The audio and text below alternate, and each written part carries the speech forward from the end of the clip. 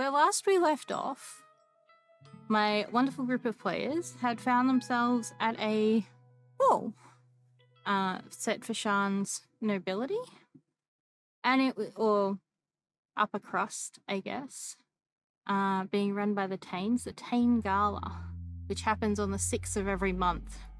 It's a fairly impressive and expensive event, and this particular one happened to co- coincide with Baker's Night, um, a sort of religious tradition uh, followed by the Silver Flame Church in Eberron. And as a result, there was all manner of wonderful confectionery and concoctions happening in the place. Lots of things made out of candy and lollies and sweets, as well as pastries. There was also some intrigue and the announcement of an engagement, which ruffled a few feathers, I think, across Sharn as a whole, but we shall see what happens. So, yeah, our the ball, however, left, or we left the last session, with a little bit of drama occurring at the ball. Certain magical items and magical concoctions seem to have got a little bit out of whack with everything. And. Hmm. Who knows? Who knows what's gonna happen next? But. I believe the last thing was that there was a scream to your left.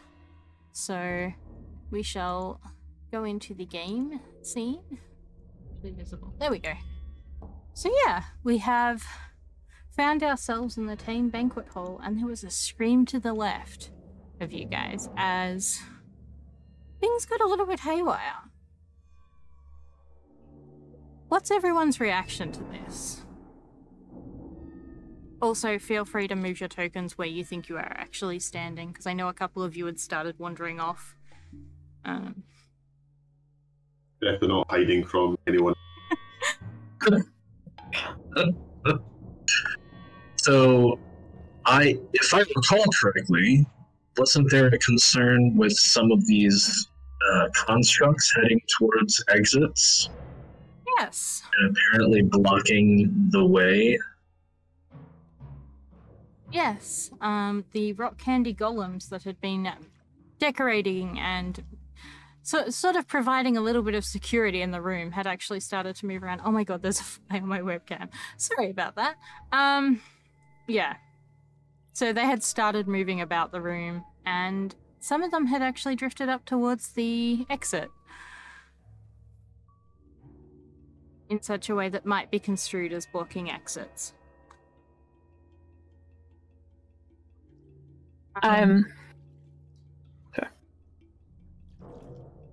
When you say, just out of curiosity, when you say uh, scream to our left, would that be which one is a stage this at the bottom? So we were facing the stage. Yeah, you were facing the like Yeah. balcony ta- oh, balcony thing that's up here, and there's there previously that had been where the announcement was made. Okay. Um, Um.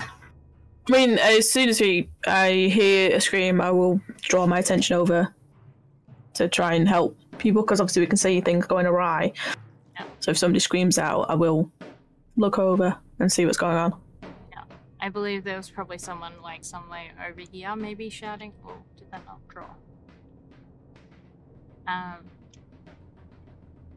Yeah, somewhere like over here or something. There somebody shouting, and yeah, it's a one-haired halfling. She just kind of lets out like a screech as one of the bubbles that had like exploded at her feet has like sent her flying up in the air and skirts are going everywhere and she's just sort of like trying to stay balanced as she's floating and the interesting thing about this particular occasion is that she doesn't seem to be coming back down.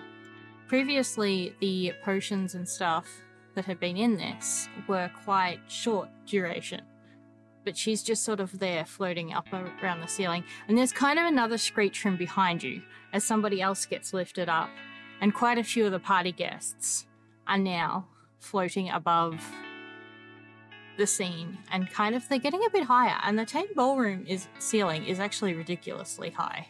Like space is a premium in Sharn, and height, vertical height, is also a premium in Sharn. And the Tains are the wealthiest of all, so their ceilings are ridiculously high as a result of that. As as a fairly ornate display of wealth, you're all aware.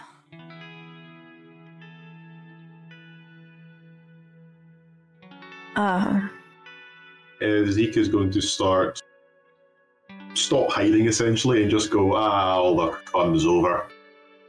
then, then head back. As I notice the golems are closing in on the exits, I'm just going to sprint towards the closest exit, essentially. I'm going to sprint towards the golem that's blocking the closest exit. Okay. They seem rather like impassive. Once they've got here, they are literally just standing there. So you mentioned uh, a halfling woman, girl, Uh, woman. um, who is now floating. Uh, is there anyone else? Who else is floating? Because I want to try. I can't save them all, but I want to try and get underneath one of them to try and potentially catch them. Drop. Probably at this point about four or five people just like floating there's there's a lot of people in this room and this map does not show the sheer scale of it. Like this is just Sure, the sure. part um because otherwise it would be ridiculously difficult to like load and stuff. But it does I am not a strong man, but I have a general concern for people's safety. So I'm going to try and walk over and get beneath the halfling in case she drops so that I can try and catch her. Yeah. And she does not appear to be coming down. Um, it's just sort of like the others too. They keep keep floating till they're kind of pressed up against the ceiling. Some of them have managed to grab onto like various ornate bits and pieces that are, you know, attached to the ceiling because again, really fancy place, lots of chandeliers, Right. lots of like stuff. There's also a bunch of gargoyles and stuff on the ceiling as well that they've kind of like managed to you know contain although the gargoyles also appear to have been got the candified treatment at this particular point they're all they all look kind of clear and sparkly in ways that they perhaps hadn't the last time you're at this ball Right. uh, And the, there's still a large crowd here, right? Yeah, no, this um admittedly it's kind of become a little bit of a crush as people have moved sort of up towards uh where the exit is. There's a few more golems to blocking other areas as well. Um I'll Yeah. just drag them on to the map.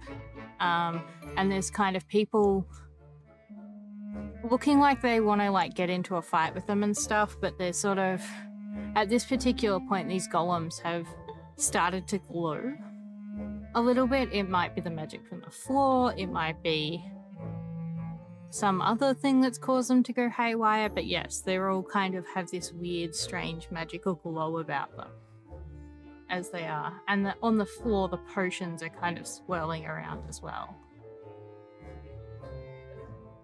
So I. Oh, go ahead. I was going to so as uh, Zeke walks over, wasn't Victor's little sister in that group as well and freaking out over all the potions? Like Uh, swirling around her feet. Yelena is now standing on a chair. Um, But never mind that that solves the issue I was going to attempt to solve. And I don't and I don't care enough to make it better as long as it's not actually becoming worse. yeah, no, she's standing, and a few of the other guests have kind of like started doing this too. Perhaps the more like alchemy minded have, you know, started climbing onto various pieces of furniture and stuff like that in a bid to try and, you know, keep their um gowns and things off the floor and their feet off the floor as the potions begin to swirl and do stuff. I'd like to cast Detect Magic so I can see the magical auras on the golems and the bubbles. Okay. Go for it.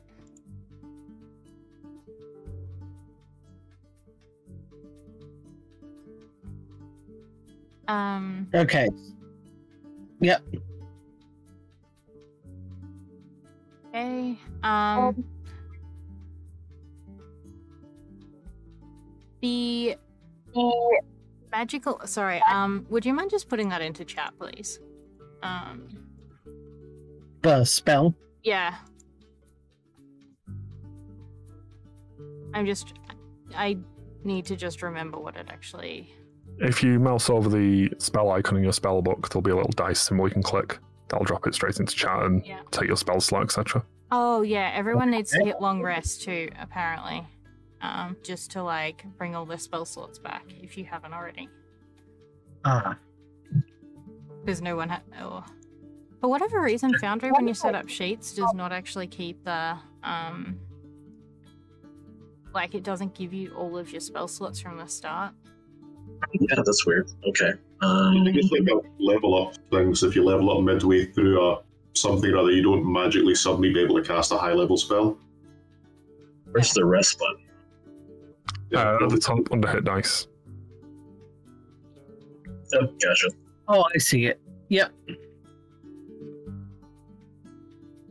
I have my spells. Wonderful. Because I was about to cast some spells too. Go ahead, Dr. Okay. See. Detect magic.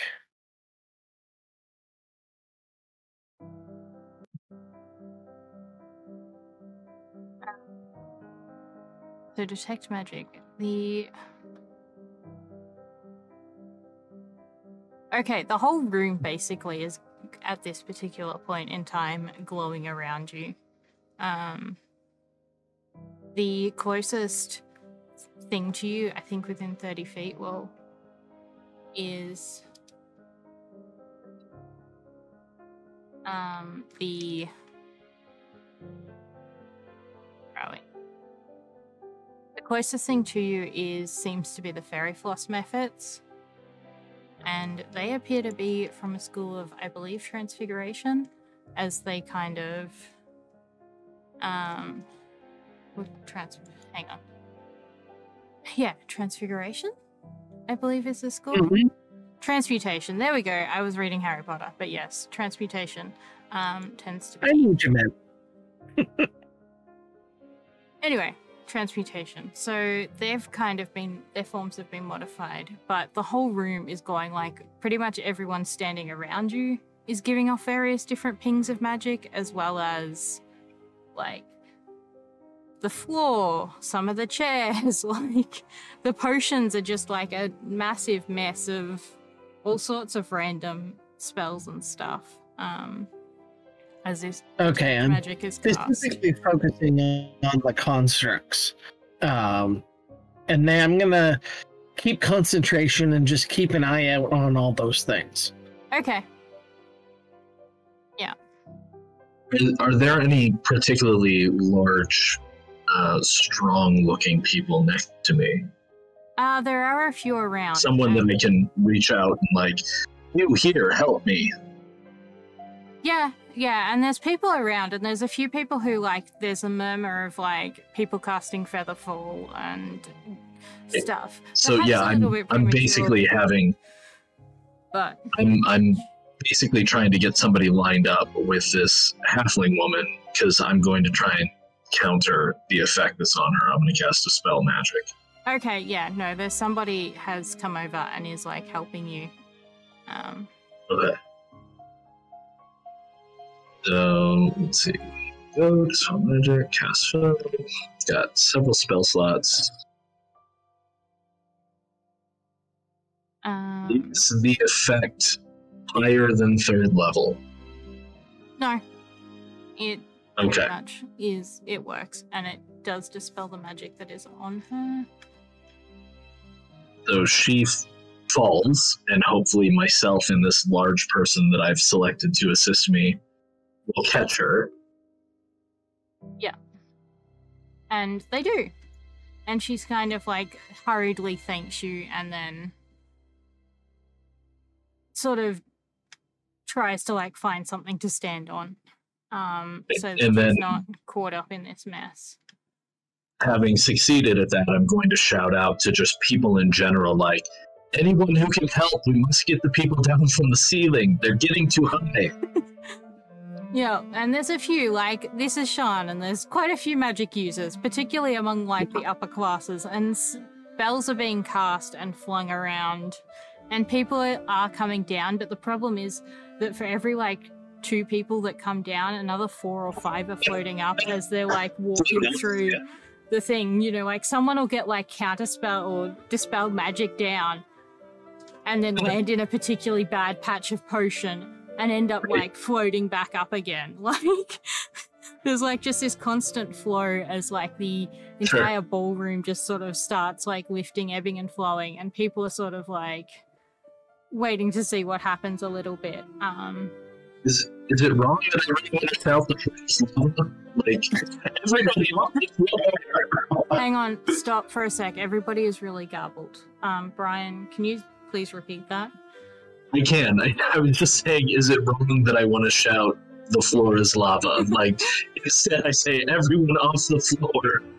The floor is most definitely lava, or at least sticky candy. And the interesting thing is that you watch as like some of the little mephits that are like fairy floss mephits that are floating around the room.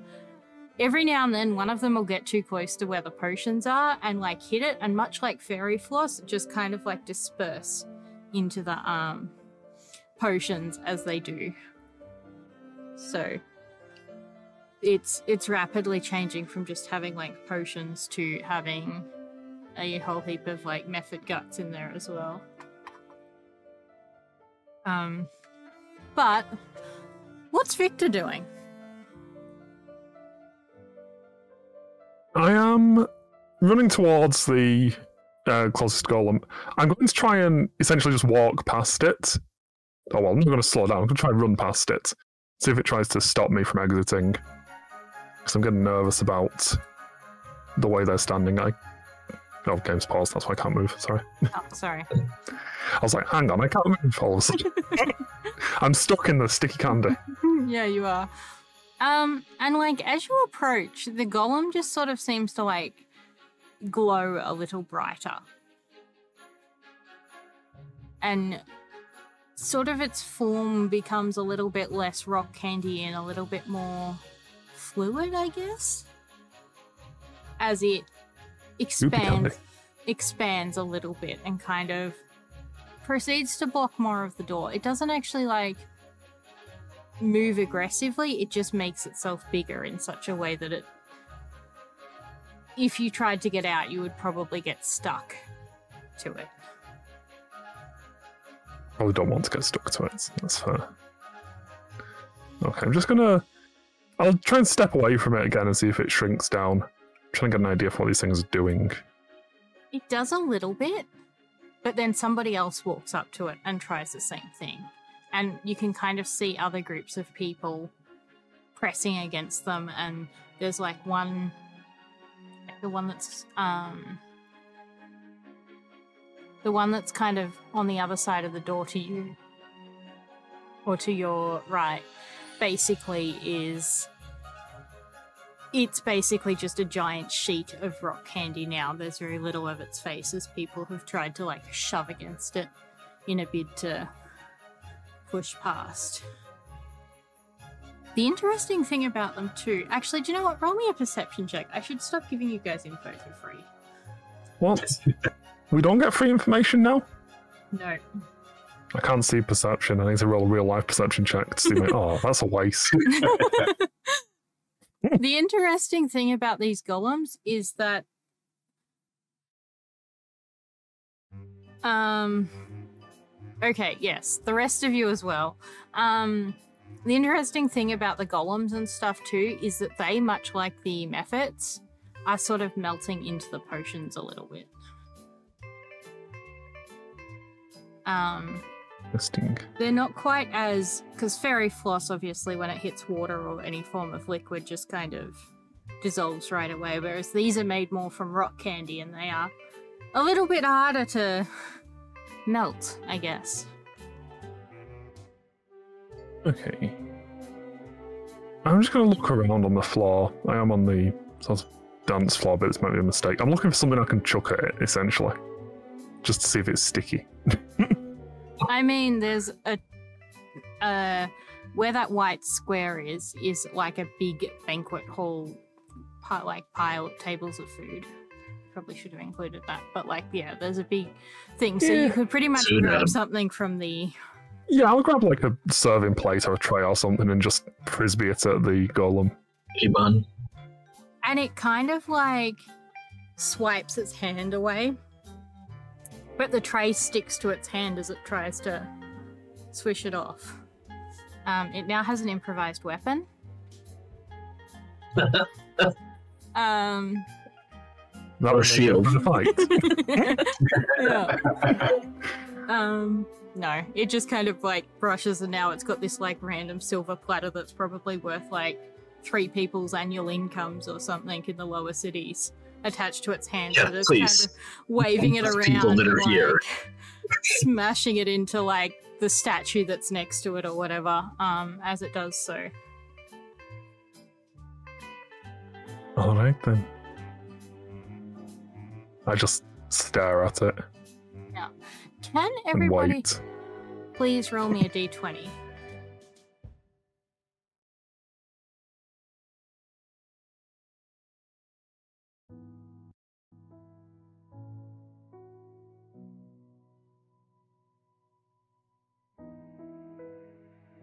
Algernon, you pro no. Well, Algernon and Victor, as you guys are like moving around in this, you the pair of you find yourselves stepping into a particularly like bad patch of potion.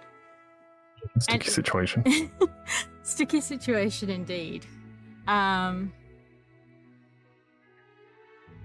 Oh, hang on. There we go. No, 16's fine. Cool. Um Victor, you find yourself floating a little bit. Um you've started Oh. on the upward trajectory of it that everybody else had. And Algernon, you're actually finding it really difficult to move through this. So you're probably not quite half speed, but you are definitely slowed down considerably as like you must have hit one of the slowness potions, or potentially one of the fastness potions that has hit a um you know been mixed with that many other things that it is now a slow fall or slow potion. So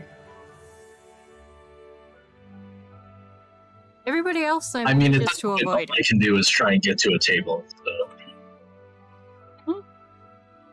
I did my good deed and saved one person. You did. Um Zeke just slowly following you around the room, not really doing anything, but staying within like 20 to 30 feet of you, just watching. yeah. Um Nicholas is Do I, Seven? do I see Zeke falling down? sorry.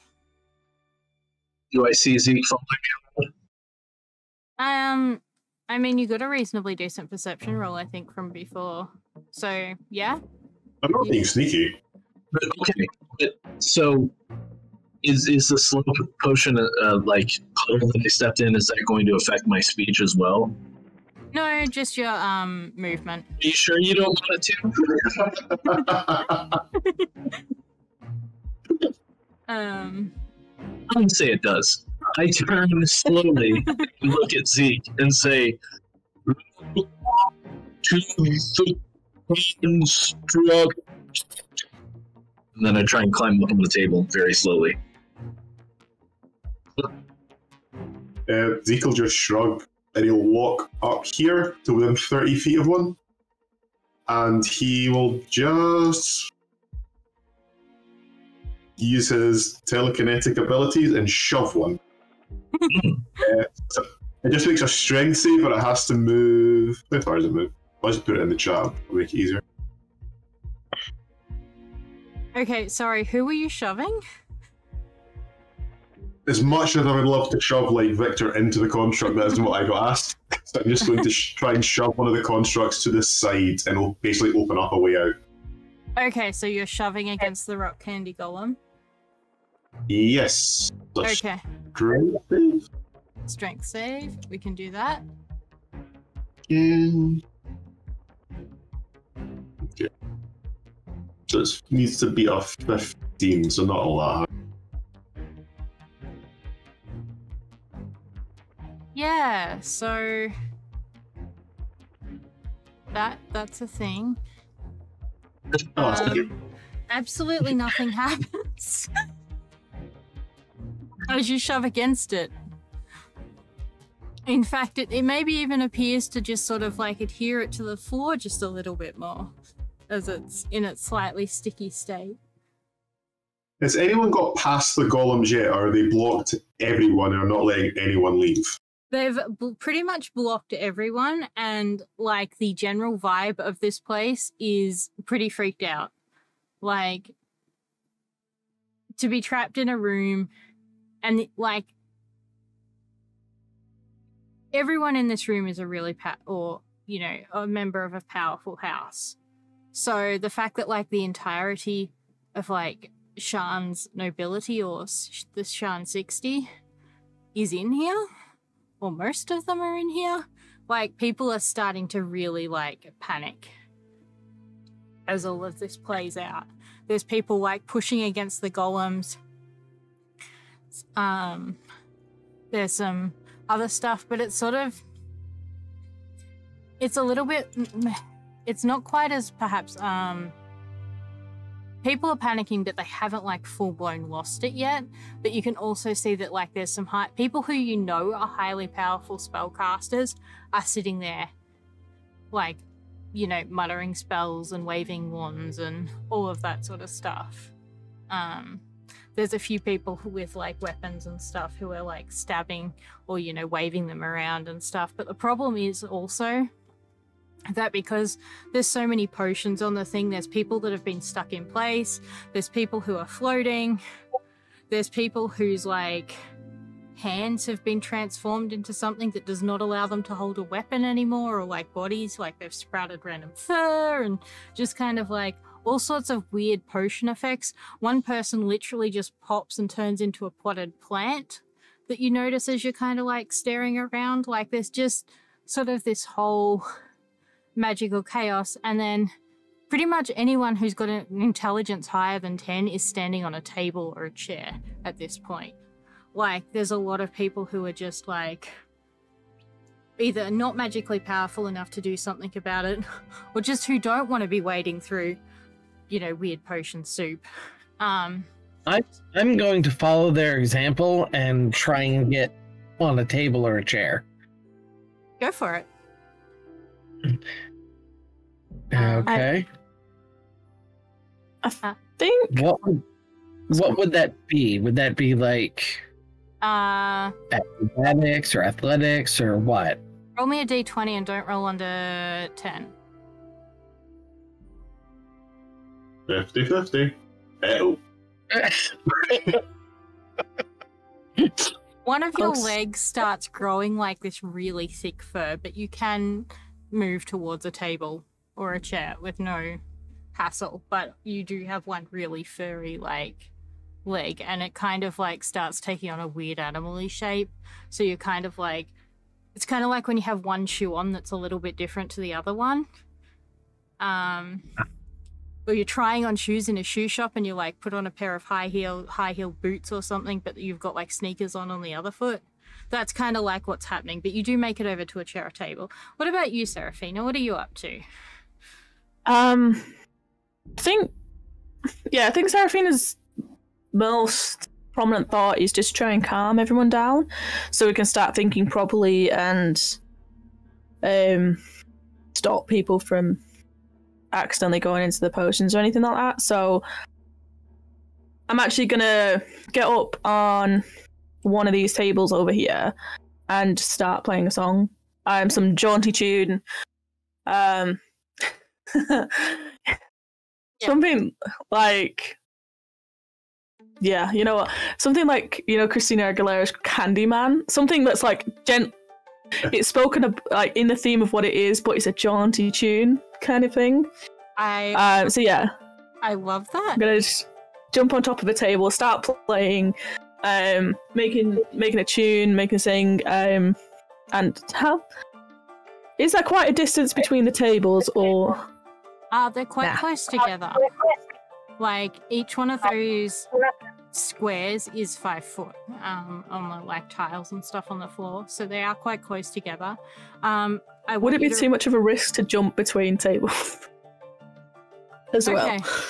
I need you to roll three. Th- well, no, two things for me. The first is you need to roll me a straight d20, and same rules about Uh. not rolling under ten apply.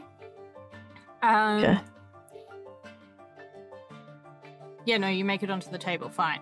Um, no weird potion effects. You manage to avoid all of the randomness. The next thing I need you to roll is a performance check.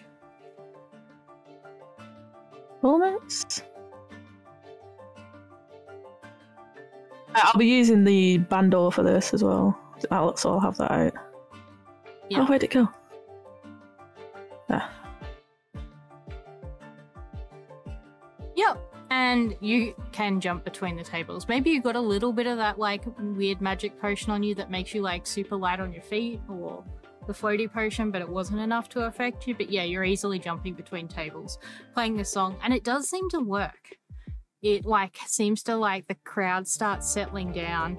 Um, even some of the like little fairy floss mephits that are in the room just sort of start um, floating a little bit so and like vibing out to your song as you're doing it there's kind of the band and stuff that was playing has also um started to like join in with you. They've found some.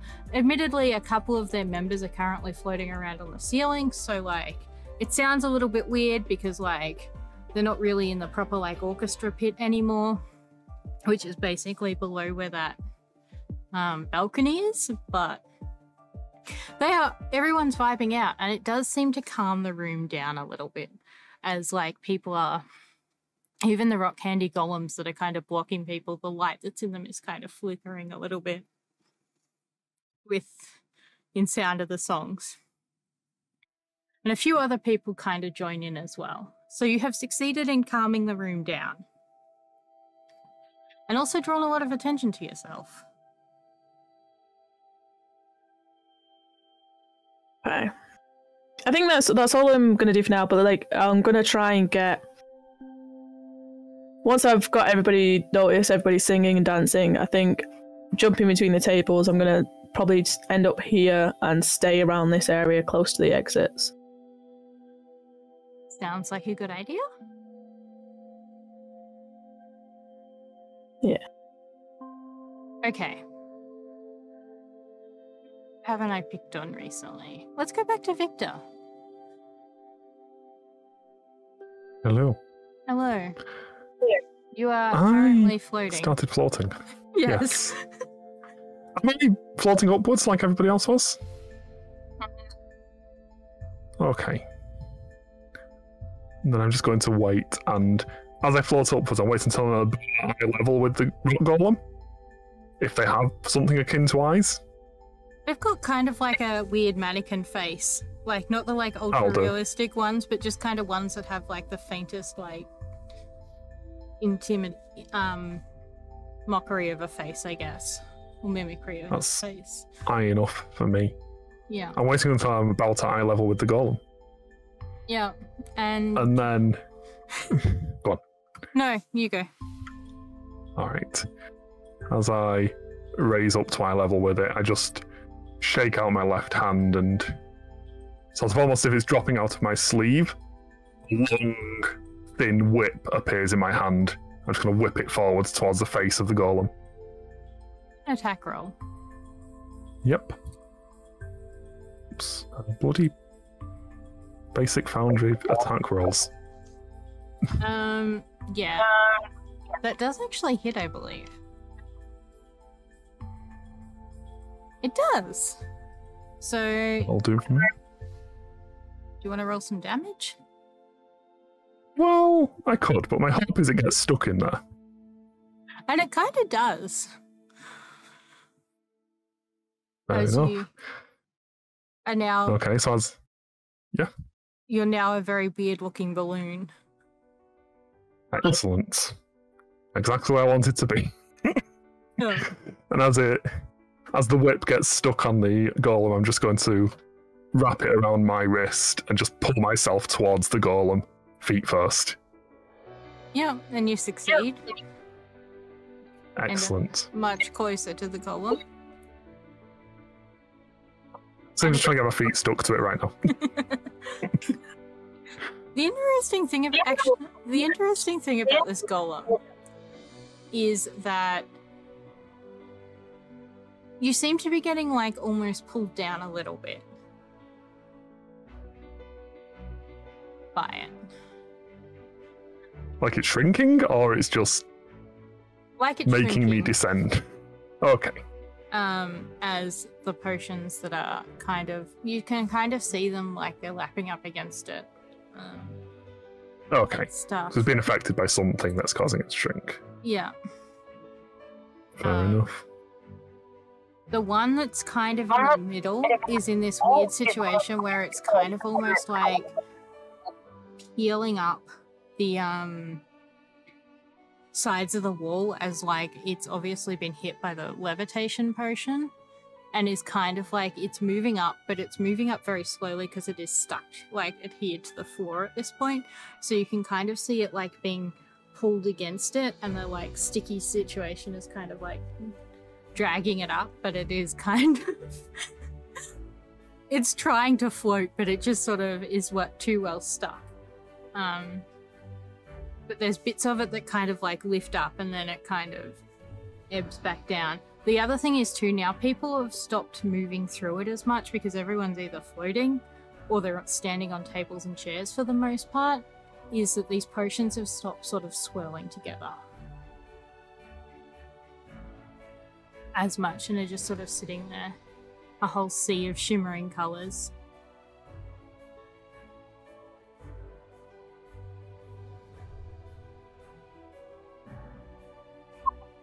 This is maybe a silly idea, but are there still cups or mugs or some glasses on the tables? Yeah, yeah, there's lots of various different um glasses, bowls, crystal goblets, metal goblets. um, Okay. Um I'm going to take one of the metal goblets and try and scoop up some of the potion from below without touching it. Yeah. And you do that. And it's a swirling mass of all different sort of shimmery blues and pinks and Are there any golems within throwing distance? What have we got here? You could probably hit one of the fairy floss mephits. You might need to um like walk towards say one of the golems a little bit more. Okay, that would involve.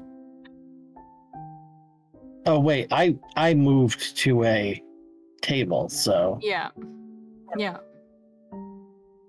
so I guess in order to do that, I would have to start uh, table hopping. Yeah. So, uh, I will let you decide as to whether or not it is athletics or acrobatics. Um it's it's definitely going to be acrobatics. If you're doing acrobatics, though, you need to describe how you're doing it in some ridiculously like acrobatic-y kind of way. Um, like maybe you're doing flips Um, between tables or something like that. Um, I am going to balance on the back of the chair and then try and jump to a chair at the next table to try and minimize the distance I have to go. Yeah. All right.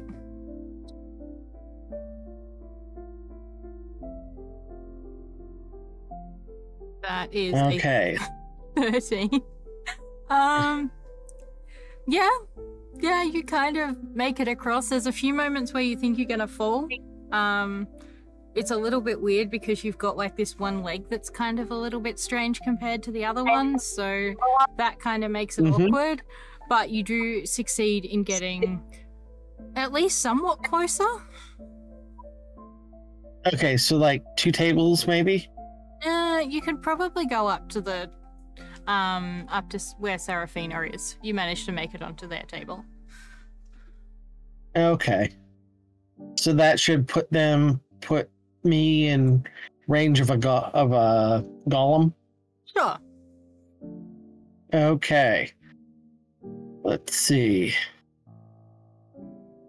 I'm not as familiar with this, but let's uh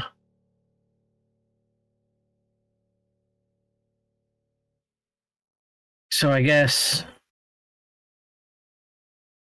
Um,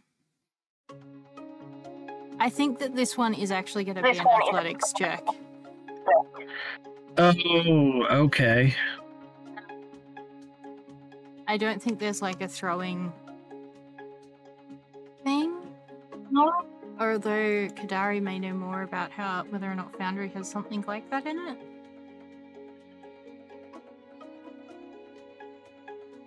Or throwing objects. Yes. Uh, per the rules, improvised weapons are always strength. Most people would rule that throwing things is dexterity, but rules as written, it's strength. Mhm. Okay. Well, anyone object? I kind of am with Kadari on this in that I think It's, dexterity. it's a straight attack that you are not proficient with because it's improvised. Yeah. Right. So. Cool. Yeah. No. You hit. Yeah. No. You hit. Okay. Um. So um does it have any effect? It kind of manages to melt a little bit of the golem as it hits, and you can kind of see parts of this have been hit with some form of levitation potion because, like, where it's melted, little bubbles of candy have come off it and are just floating upwards. Um, can you roll me a d4, please? Okay.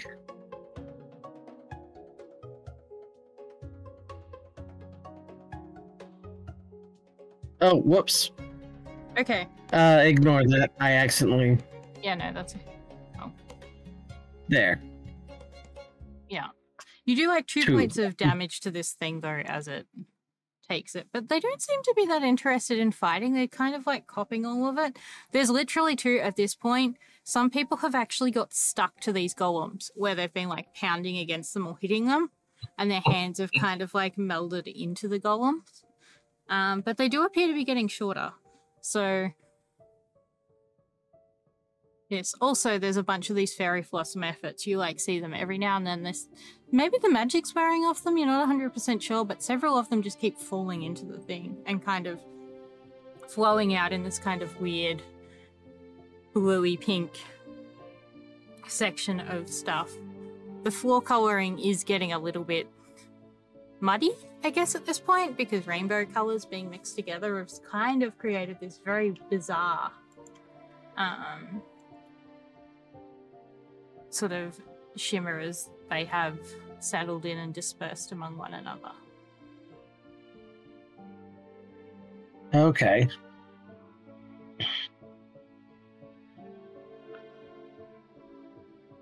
Yeah.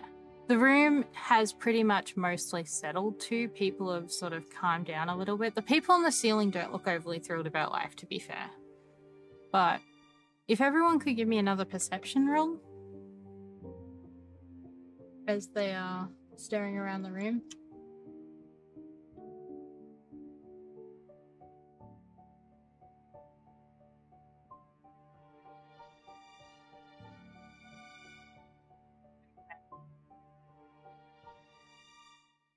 A bunch of you seem to be caught up in what's going on with potions, which is fine.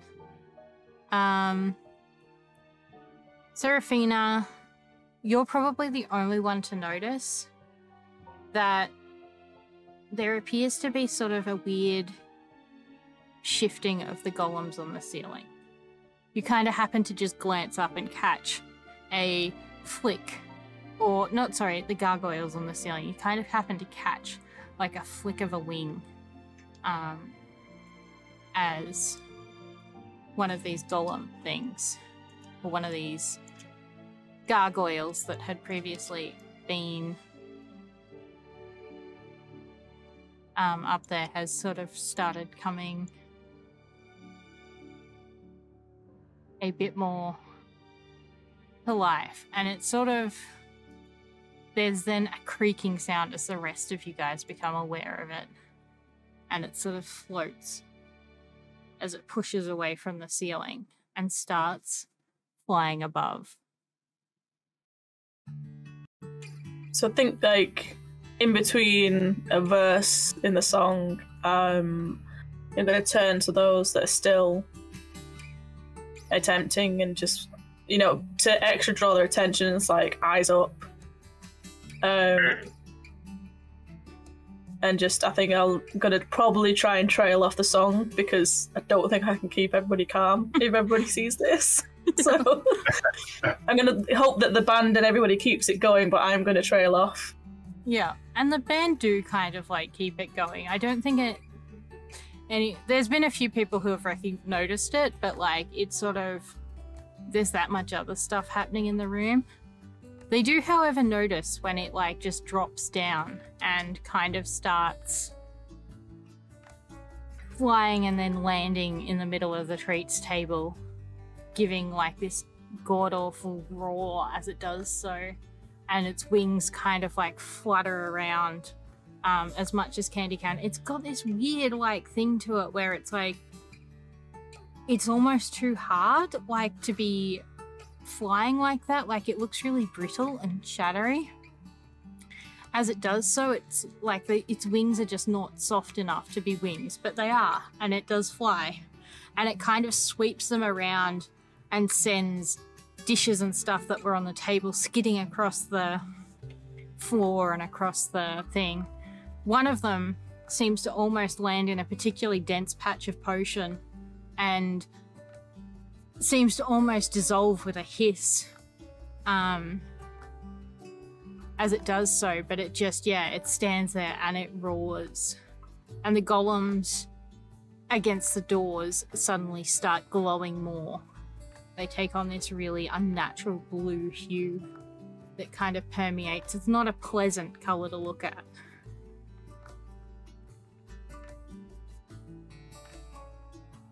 I'm beginning to become afraid of all of these things exploding. Um, Yeah. I don't know that there's anything I can do about it. Can Zeke pick up any discarded like metal chalice or anything around him if there is? Yeah, there's one. Uh, yeah, he picks it up and uh, pulls out a screwdriver from his coat that he definitely was not supposed to bring, but he wasn't leaving it. yeah.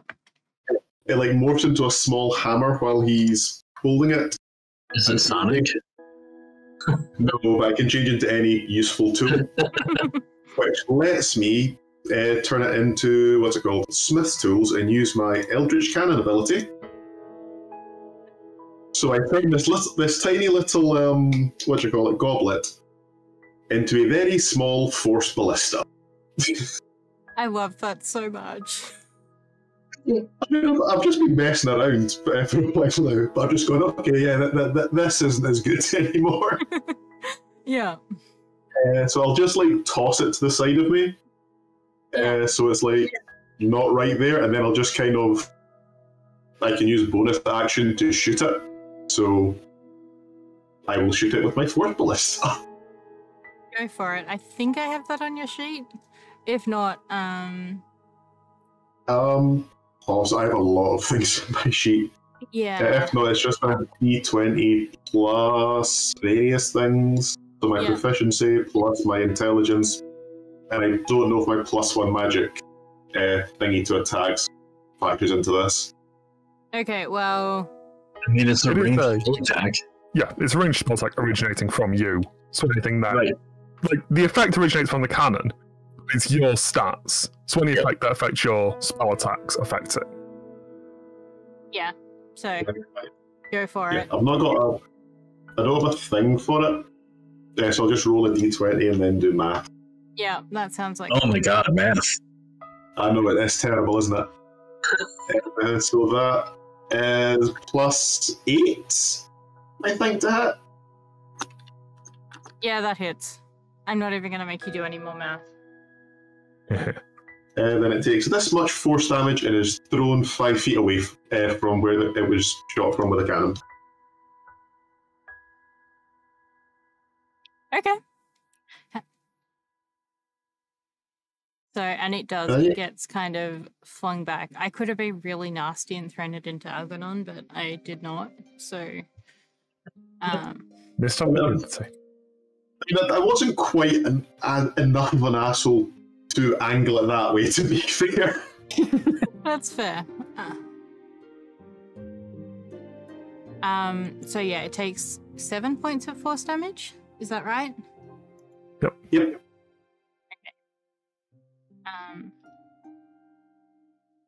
I can do that, and then yeah, I think we might actually be heading into a break. So, but I will, Hmm. however, have everybody roll me initiative Oh, Okay.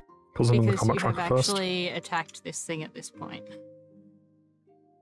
In such Wasn't a way into the combat tracker first. I won't take initiative rolls. Oh yeah, that's true. We should do that. Um, which is just yeah. Sorry, it's been a little while since I've used Foundry to, yeah, to run combat. There you go. Cool. Big.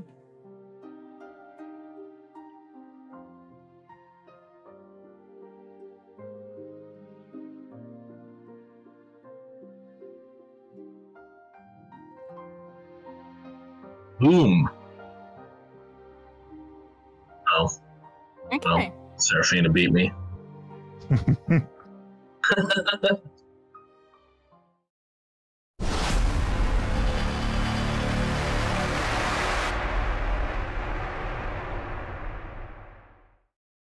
Where last we left off, we are now heading into combat. I believe. So, Seraphina, what are you up to? Um. So I think, where is it? What was I gonna do? Yeah, so I think I just need to double check because it moved. Mean, sixty foot in the middle of it. That's that counts, doesn't it? Um, Uh, it doesn't have to like be to the end of it for it to be within the sixty foot range, does it? as No, long as as long as you can hit just- any part of it. It's occupying nine squares. Pick one. Okay. Um. So yeah, I'm essentially I'm just going to um cast vicious mockery at it and just just shout at it, calling it, "Oh, you you're just a piece of candy. You're already melting. You're just not worth anything. Go back up on the ceiling and be nothing like you like you already are." And you know, just be rude as fuck. Okay. Go for it. Okay, so it needs a wisdom saving throw. Okay. Wisdom saving throw coming right up.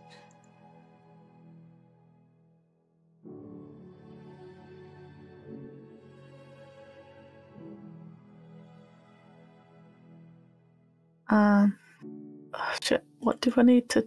What does it need to beat? Apparently a DC of 16. However, it did roll a Wow. 20. Because apparently I'm rolling well tonight or this morning. So, and it just kind of like sticks its tongue out at you, which is this weird sort of crystalline rock candy thing as you say this. Yeah, I'm just gonna furrow my brows back in, like, hmm, I need to think of something else. Yeah. yeah, Okay. that's all I'm doing in this one. Yeah. Algernon? I mean, is this thing being aggressive? It did roam at us. It's kind of roared and it did not particularly appreciate being hit by Zeke. Um, as it's like moving around. And We've been kind aggressive to it. yes, basically. You're my guardian. Responsibility. Um, it- so, are a lot of people to- considering the cardinal directions, are there a lot of people, say, in a line to the southwest of it? Um, most no, there's no one really behind it. Like it's everyone's pretty much moved and is either floating or is you know on a table or chair at this point. I think So- Kadari understands what I'm thinking. Just such a D&D question. Not I didn't plan to cast this, but lots of people in a line southwest. We know what you're doing. Okay, this thing is huge, right? Like this isn't a mistaken token size. Like this is a very large yeah, it's massive. It- It's massive. because it was a originally a gargoyle on the ceiling that has been turned Yeah. into some sort of candy monstrosity. The gargoyles are a lot larger because they're so far away. They kind of need to be big to be. In order to be visible, sure, Yeah. yeah. Um, so that you can see the artistry, of yeah, course. exactly. and all Um, of the like yeah. normal gold inlay and gems and stuff that they usually have, Yeah. Which have been replaced by candy. I hate to destroy a thing of architectural beauty. Um, but I guess I'm just going to go ahead and hit it with a lightning bolt. Okay.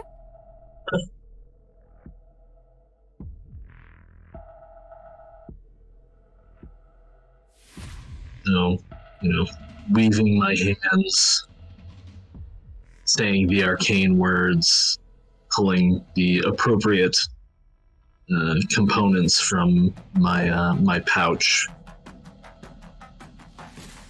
I will yep, consume a spell slot. Okay, it needs to make a dexterity saving throw by the looks of things. 15.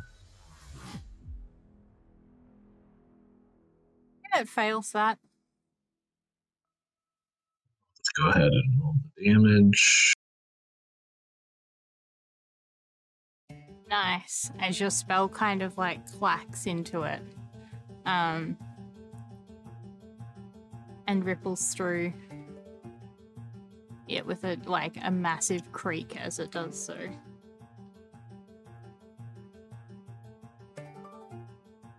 One of its wings gets a little bit like shattered as this happens.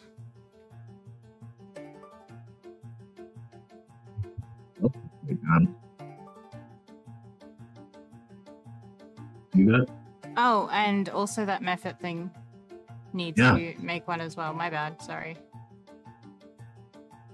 There's a few people on tables who are probably not overly thrilled with you, but like, we're not going to worry about them.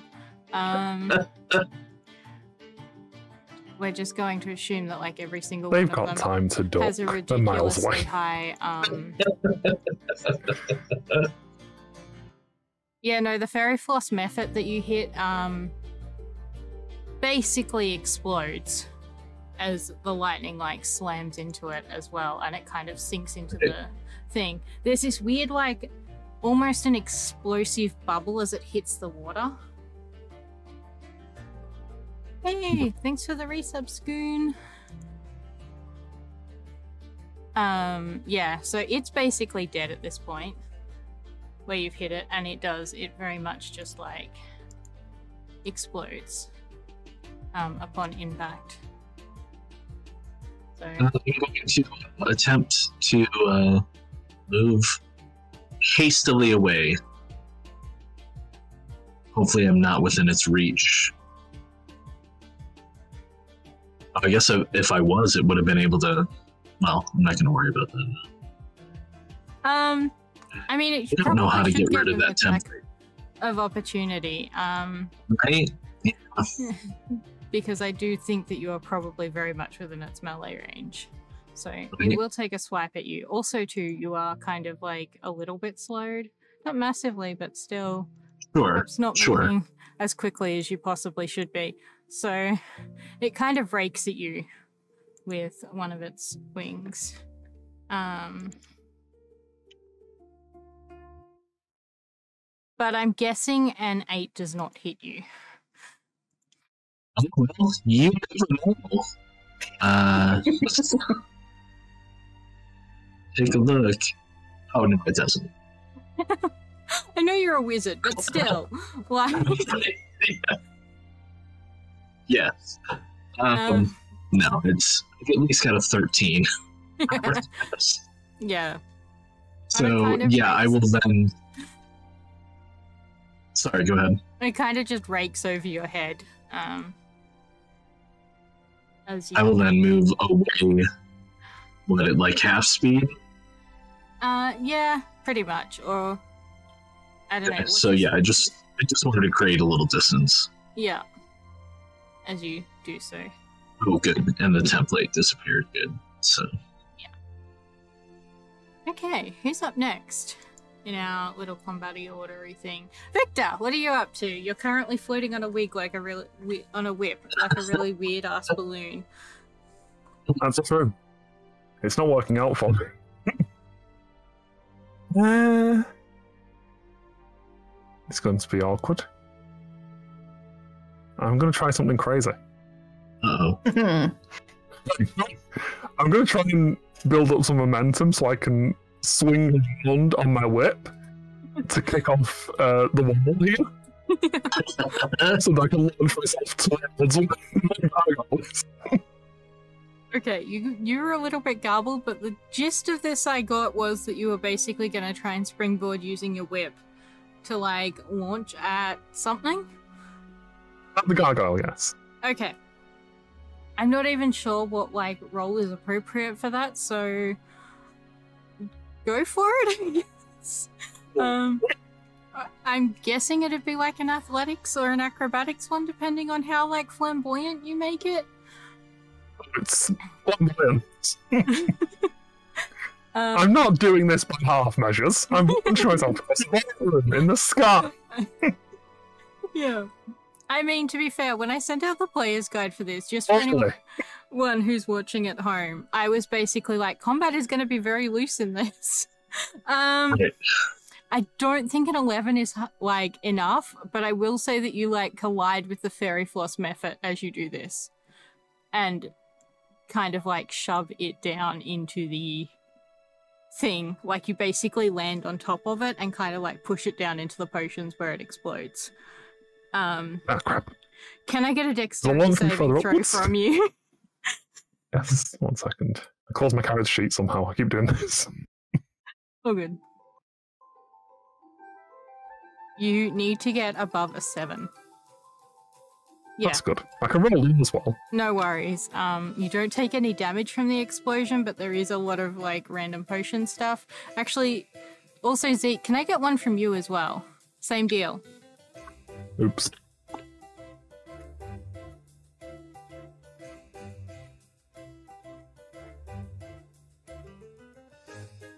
Uh, I will. No, you roll me a d4.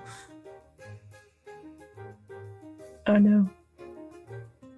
Um, as this potion It was gets entirely unrelated to me.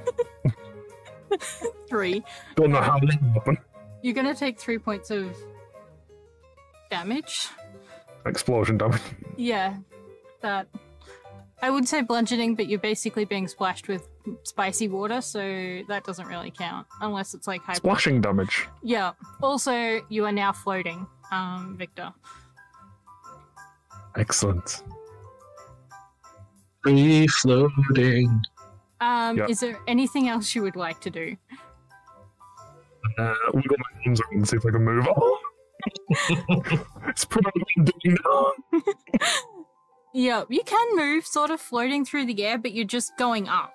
Like that's the kind of thing that's happening. Ah, here. that's fine. No problems with going up. Coming down, that's the problem. Yeah. Really coming down isn't the problem; it's the stopping. I will swim through the air as far as I can towards the golem, I guess, with the rest of my time. Yeah. Um, I'm gonna say that you could probably get like maybe three grid squares. Does that sound fair? It's kind of halved because you're kind Yeah. of going up. I moved about half my speed already anyway, so that Yeah. makes sense. Um, radio. Who's up next? uh, the Fairy Floss Mephit that is dead, and then there's another one who just sort of flutters up and starts moving around. Oh god, I closed that character sheet, didn't I? That was helpful. Very helpful. Um, but yes, it just kind So of. that's what I keep doing. To be fair, I do have a lot of them open. Um, okay, it's got 30 feet of movement. That was what I wanted to check. Some of these don't. Just- Um, Double click a token. Double click the token, it'll open the appropriate sheet. So it kind of starts fluttering over towards you, Algernon, as it gets there. Apparently, I can't. Anyway. Um, and it is going to breathe with a like sticky, sickly burst as it does so.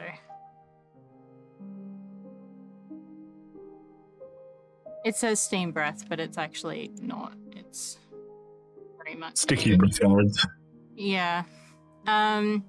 So can you please make me a DC 10 Dexterity saving throw, please?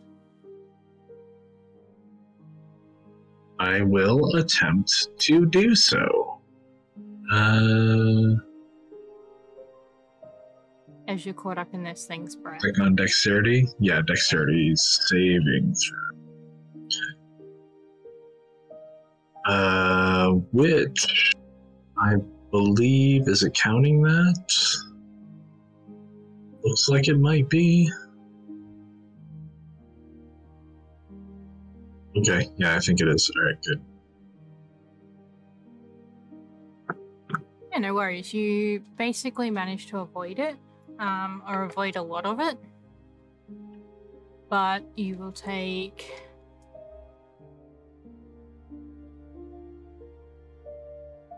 Two points of fire damage as this.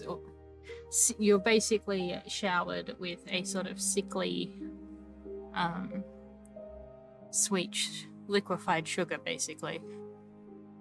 Probably not great for your beard, to be fair. In fact, this may end up being more psychic damage than um, fire damage, depending on how you feel about having sticky stuff in you. It's getting out of everything again. That's a... Yeah. um. So yeah, it kind of does that, and then that's basically going to be its turn. Um. Luckily, I did manage to pull my cloak of protection in front of me as it breathed on me, so maybe it's not quite in my beard. We'll Yeah. see. Um. So But I yeah, that's quickly off my cloak. um. Laurie, you're up. Um, let's see. Am I within 30 feet of the big gargoyle thing?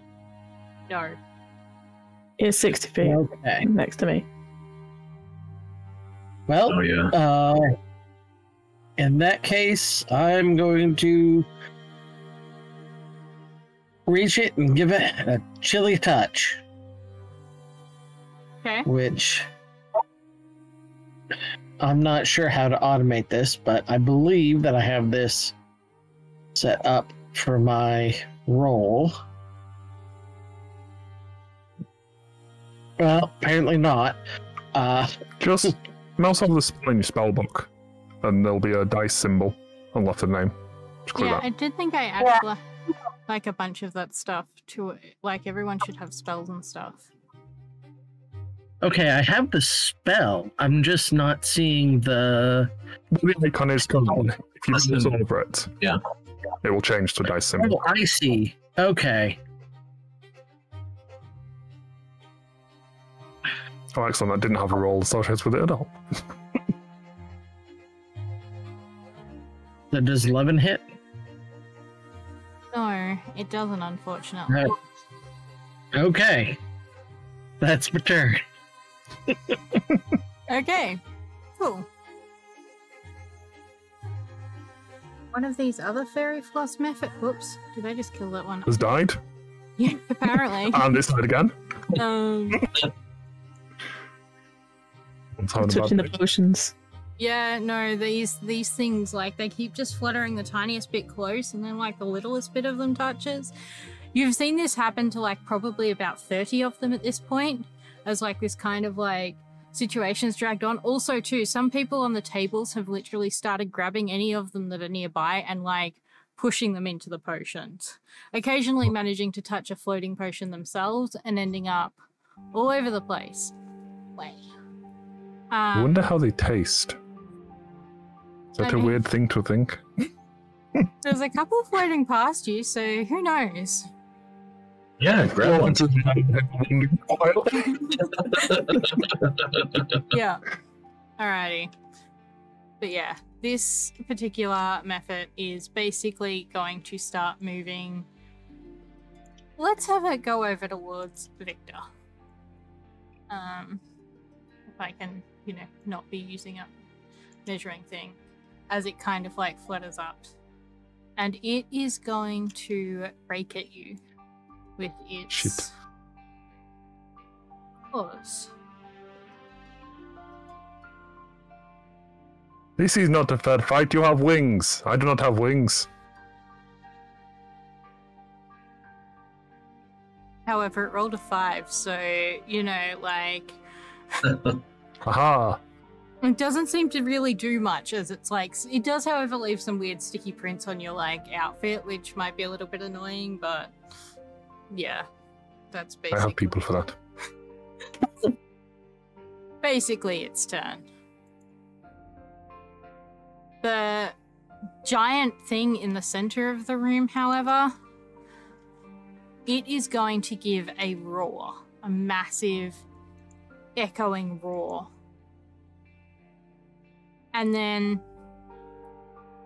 kind of move along the table. It will. Can you move? No?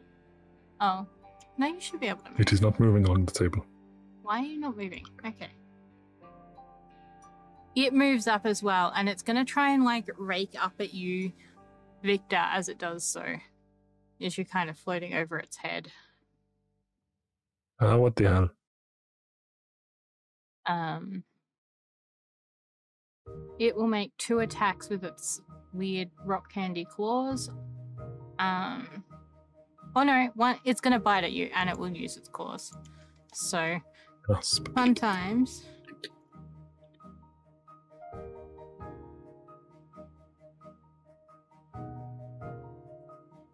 Does a 17 hit you? It does. Oh, maybe not for you.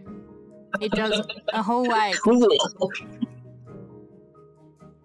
Five points of damage as it rakes across you, across you with its claws. I also don't know why this thing's health is doing that. But anyway, oh no, it's because the mephit's underneath. That's fine. But yes, it does. It rakes against you as you, and kind of almost pushes you up a little bit as it does so. Oh no. That's the wrong way. The more concerning part about this is that this kind of like loud echoing thing seems to there's like other cracking sounds happening and kind of other roaring sounds occurring around the room as a couple of others appear out of the ceiling and start moving around. People who were like in front of them um have suddenly found themselves pushed down or out of the way as these other two appear from the ceiling and just sort of start carrying on within the room as well.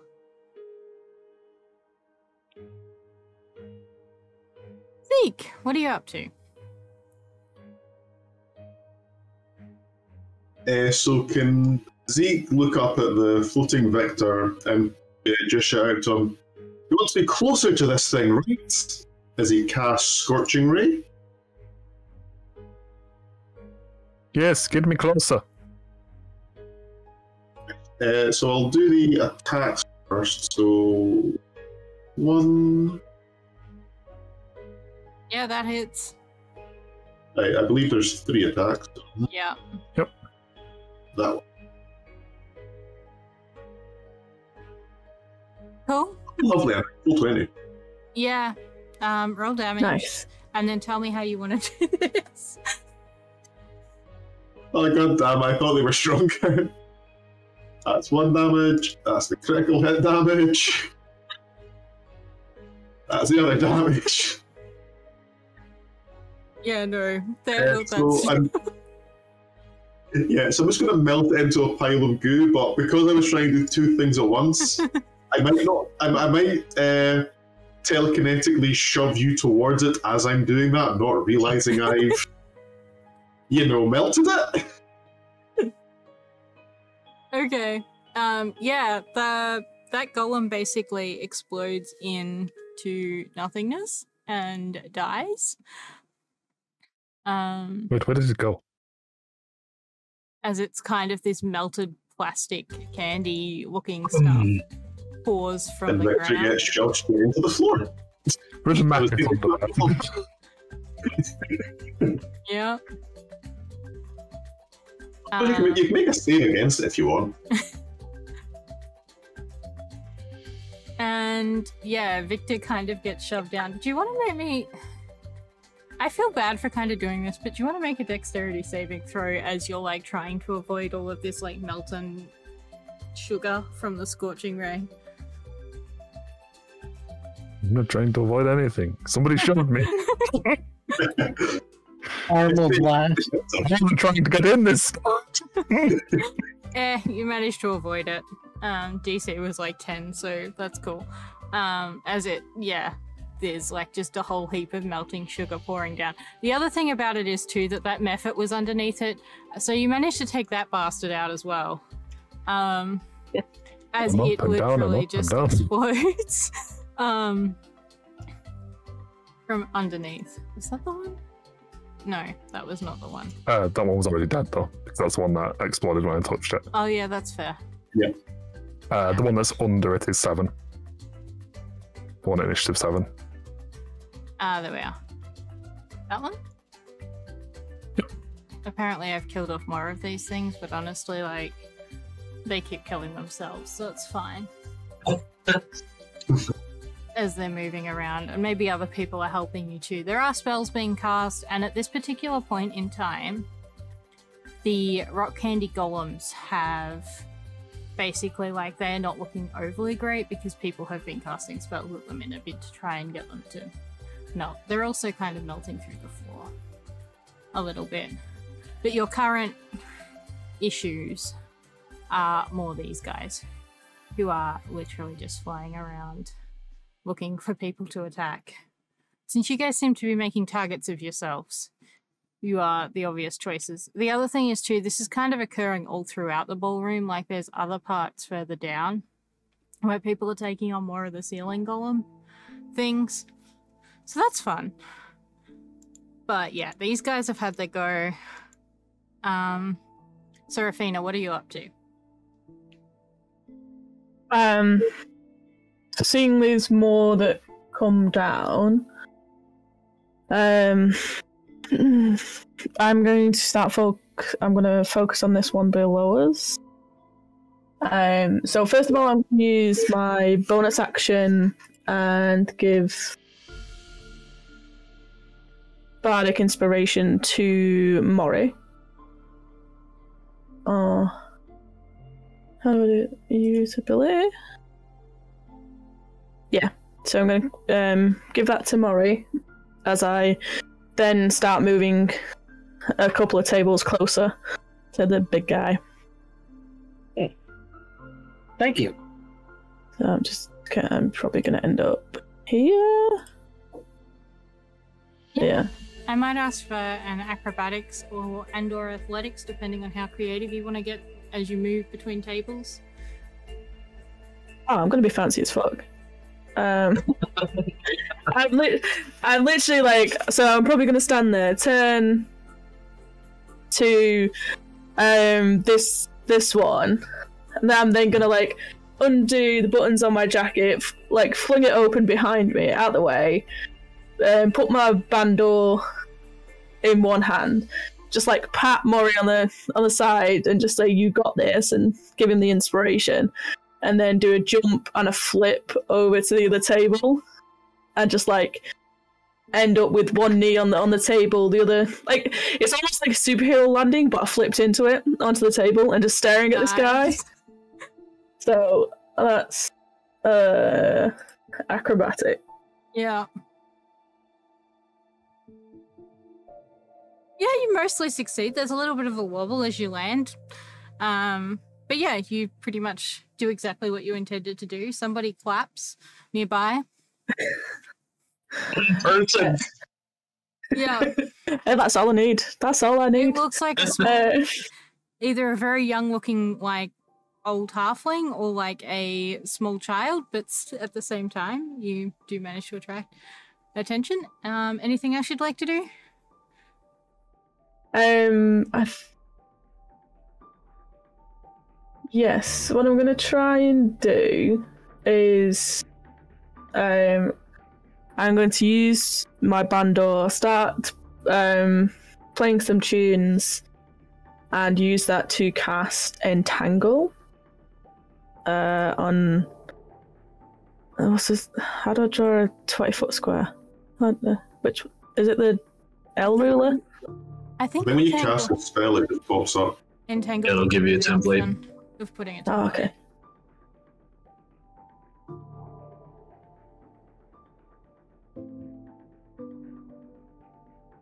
Ooh, okay. Uh, yeah. So I'm gonna do entangle there to hopefully try and restrain it. Oh, I'll have it make its strength saving throw. There's several people on the table who are not overly thrilled with you because they were unfortunate enough to get caught up in that, but also they're currently like near enough to a um They didn't run away. It's, yeah, exactly. They didn't. like- cl- they didn't clap either. So you know. yeah, exactly. um yeah, no, that fails. fails at strength saving. Actually, oh, cool. I was actually really considering not doing it. It's like, mm, well, they're kind of big. I'm sure they'd be strong, but okay. Cool. They, they are kind of strong, but like also this thing rolled two, so yay for it, I guess. Um, but yeah, no, and it kind of. What do your vines look like, or your entangle spell?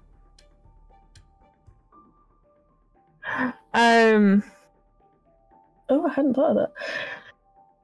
I think it would probably be as close to. Obviously, it's going to be vines, but it's a close to actual. Because my whole being is flaunting the pure opulence and the grandness that I have. It's close envisaged, envisaged to golden chains kind of thing. As close to as, as uh, possibly can get that with still being vine-like if you get what I mean. Yeah. Nice. I love that. Um, and yeah, this thing is now currently trapped on the table, and it's not very happy about it. It roars and kind of struggles against the vines. Um, several people who have also found themselves adhered to the tables are also less impressed. Um, and they're kind of like pulling away, trying to lean as far away from this thing as possible, but not quite capable of moving. Um, Oops. the halfling that was rescued earlier does, however, manage to slip out between them and kind of like stands on the table and is just kind of staring up at this thing. Um, so yeah, it remains trapped. Anything else you'd like to do? Or can do? Um. No, I think. Yeah, I think I'm gonna stay where I am for now. Um, just watching, watch, keeping an eye on that for now. Yeah. Algernon? Okay, so I'm gonna do it just because it's funny. Um, I'm gonna kind of reposition myself here and try and climb up onto this table to get out of any potential further, you know, fluids. I know a lot of the fluid is kind of, I don't know, evaporating, I guess, or magically dissipating, but um, and I'm going to hope that a lot of people over by the entangled creature have gotten like dove out of the way because I just can't pass up two of them in a line like that. Um, That's fair. are they both in position to where? Well, here's a question. So the one on the table, or the one over among the tables, the entangled one, these are tall, right? Yeah, they are. Um. So y- Would I be able to angle the, my, say, you know, I don't know, a lightning bolt in a way that it's kind of angling upwards and hitting through both of them without hitting people that are maybe also entangled on those tables? And okay. sure, you, You know, manage to little weave it in 3D such a way that test. it moves through the thing, um, hitting the two Sure. creatures that it needs to hit. Okay, so I'm gonna go ahead and do that again then. And Ooh, it's tight, but I get him. Yeah. Um, He's like right on there. dexterity saving throws.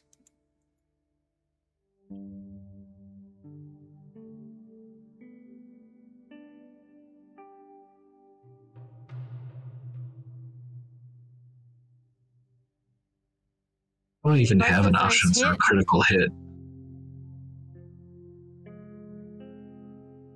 Um, Ooh, yeah. damage. Nice. Yeah, and they basically sl- that lightning spell slams into both of them. Um, does thirty-one points of damage each. Yeah, does thirty-one points of damage to both. As your lightning spell, anything else you want to do? bonus action. You've moved, so Mm. No, I'm just gonna, you know, try and stay on this table and hope that nothing comes after me. Oh no, I will shout at people around me like, "Head for the exits!" You know, that these massive things are flying around. We should get people out of here. yeah, people are definitely starting to move towards that, and a few of them kind of look around. There's like people helping each other across like the tables and things as they do so. A few of the more like energetic bards are doing flips and stuff, and you see someone try and do a flip and do the NPC equivalent of rolling in at one and basically landing in the potion, wherein they start floating up towards the ceiling while sprouting fur because they hit way more potion patches than they should have. So that was fun. Um, but yeah, you basically just kind of see that. Okay, who's up next? Victor, what are you doing? You're currently floating. Probably I'm having a lot of trouble with this air thing. yeah. I am going to try and propel myself forward some. Go for it. Half speed. I've not figured out this mechanic yet. I'm just wiggling my arms and legs and hoping. Yeah.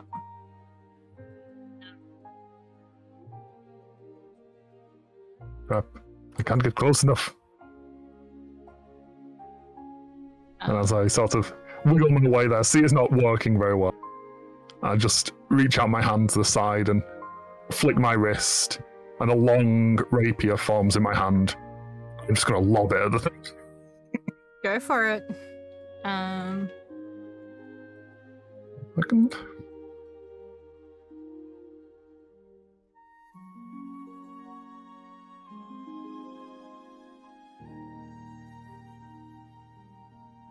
Uh. It's a 30, 13 to hit. 13. Does not hit. Bastard. Flies off into the distance. Maybe you like shatter through one of its wings, but it doesn't seem to actually like cause any major effects or damage to it as your rapier just kind of sails off. Um, maybe lands on one of the tables or something. Yeah, fair enough. Nearly, nearly skewers a dwarf who kind of like glares over at you. We'll not forget this. And then just Yes, kind yes. Someone throw me a rope or something. so, it was all close. And that's it from me. Yeah.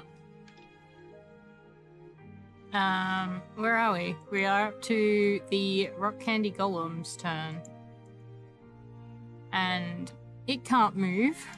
So it's gonna like very frustratedly roar. I believe it gets another dexterity saving throw at the end of its turn. Uh, it's strength for Or strength. entangle, but yes. I did Well, it use uses its action to do it because it needs Yeah. to struggle out. Yeah, pretty much.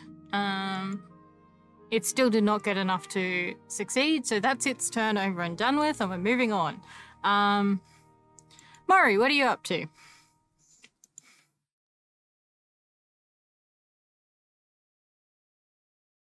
Think you, You are might be muted.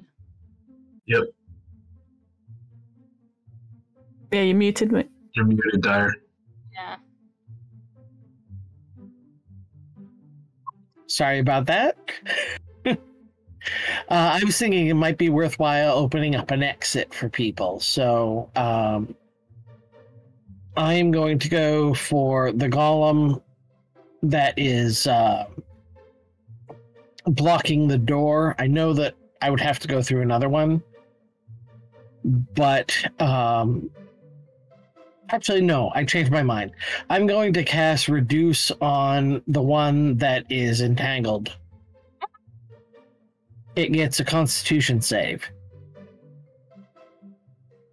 Sure. Um, do you want to put that into chat? And I will. You just need to click the little dice next to your next to the spell, because then it also takes it off your spell list and makes tracking spells a lot easier. And I too actually really um like having the spell thing there so I can make sure that I'm doing things properly.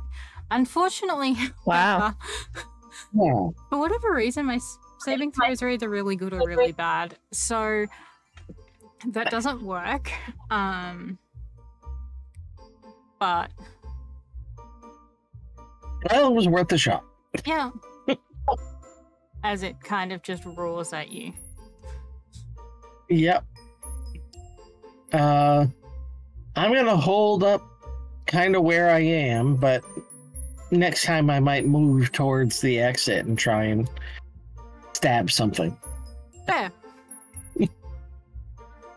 Okay, everything else is dead. Zeke, what are you up to? The last scorching ray went really well. Um, Fair.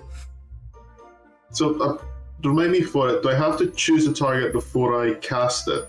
So, I s so the spell might still hit something already dead, or can I choose one and see if it's dead and keep going? I'm gonna be honest. Oh, I for don't- multiple rays. um, I think you can target each ray individually. Like you can do one at a time. Yeah. And fairly. ray's a separate attack, so each ray can be And- wherever you're going. I am honestly cool if that is a thing because, like, you're a spellcaster, you know what you're doing. Like, Yeah. um, Uh, so, So- the first one will target the restrained one, which I think gives me advantage. yeah. So roll attack. Um, the 19 definitely hits. I'll take four damage. Yep.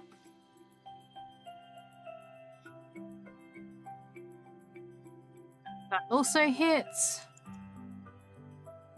Nine damage. Still alive. Um.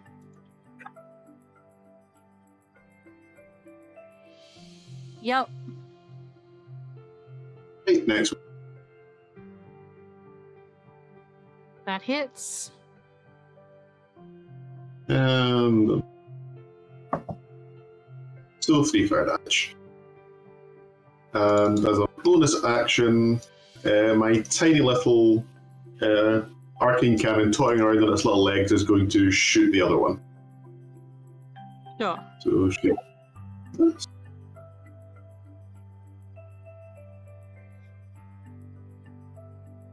That hits. That also does damage. Okay. So, Going to back away a little bit. Oh, and the big thing gets pushed five feet further. I, I keep throwing this thing at my guardian, and I've just realised where it's going. um, This seems like a very deliberate choice to me. Right. That was me not paying attention to where you were, unfortunately. That's fair. Um, yeah, and it does. That one will move five feet that way.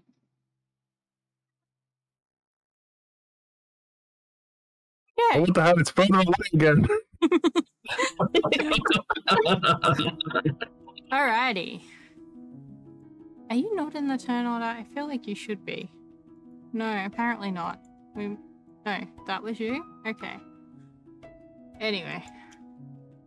Um, yeah, that one for whatever reason was not in the turn order, so that's cool. Maybe it was the other one that was not in here too. I get a little bit confused sometimes. Oh no, because that one's dead. Never mind. Um, yeah, so that one is basically going to make an attack roll. It's going to move towards you and make an attack roll. Um, as Yep. it does so. It is going to bite and it is going to use claws. Um, I definitely should have downloaded the thing that Kadari told me to, and I did not. Uh, 16 and 22. Either one of them hit. Um,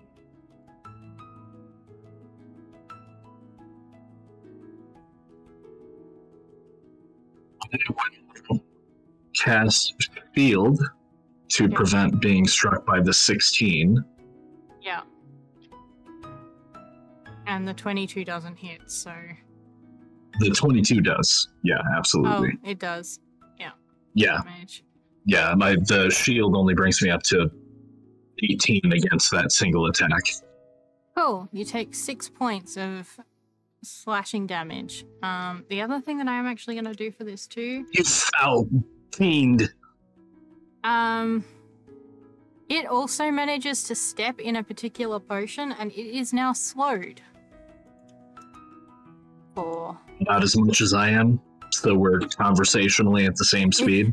yeah, pretty much. Um, It's not impossibly fast to dodge, it's just really fast to dodge. Right, right. yeah, but it is. It's um definitely slowed down a little bit. If I can. I wish I could join the cat stream. Uh, there we go. If you're slowed, did your lightning bolt go across the room at slow speed? That's an interesting question. the, the golem just entangled like a cat. go across. Like, yeah, like the that really slow motion lightning strikes you see. That'd be really cool looking, actually. Yeah, it would be. Um, so yeah, it's currently slowed down because it did take a weird um step into a motion that it probably shouldn't have. Um, apparently there isn't actually a slowed thing, so we're just gonna use the net. Anyway, it's not restrained, but it is slowed. So fun times. Um, yeah, and I believe that takes us back up to the top of the round.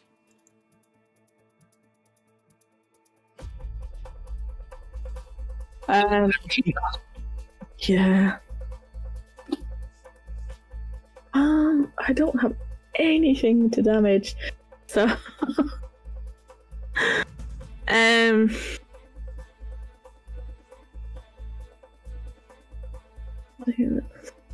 Somebody else can have bardic inspiration. Oh, you're just out of reach. You're the one that really needs it, Victor, and you're just out of reach. Get closer. You. Floating. Do some of your table acrobatics. Um.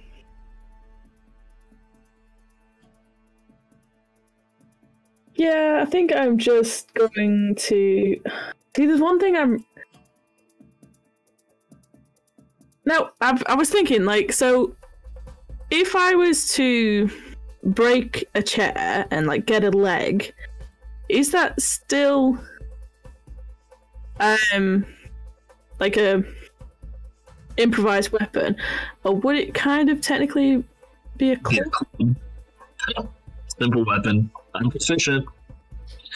I mean, go for it if that's what you would like to do. Um, clubs are literally just an improvised weapon that you put on name. Yeah. Yeah. So It's a bit of wood you hit someone with. The most improvised weapon. yeah. With the touch choice, do I swing the chair? Or do I break it and swing a club, which I'm proficient with? The chair has four legs. If you break it, you could swing two clubs. That's Twice as true. many attacks. Oh no. Maybe And- it's if you're you're foot dexterous. Clubs. So. Let me just double check. I. And I can't use that again. Because I'm. I just imagine that I wouldn't have brought my rapier to this Yeah, no, But that's the- fair. wall. So. Um. Yeah, no, if you want to grab a club, I'm not gonna like complain about it. As I said, combat's pretty loose in this. Um Yeah. Yeah. I think that's what I'm gonna do. I'm gonna. I just keep mine up my sleeves. You should try it. um. I will. So I'm gonna do some fancy shenanigans again. Um. So. have I seen you. You're still quite. Okay, so what I'm gonna do is I'm going to do my. I'm gonna actually put my bandore back on my back. However, I, I can't think of how it was like attached, but it's got some fancy attachment to the back of his cloak. Um, do some more like fancy flips over. Nope. To here. Um, grab one of these chairs, break off the leg. So if I if I do that that um that as an action, can I still attack and do a bonus, or would that be my bonus action to be able to like, create a weapon? Like, how would that kind of work? I will say that pick like grabbing the chair is a bonus action and the attack Okay. is a action. Okay. Somebody remind me of that the next time this comes up.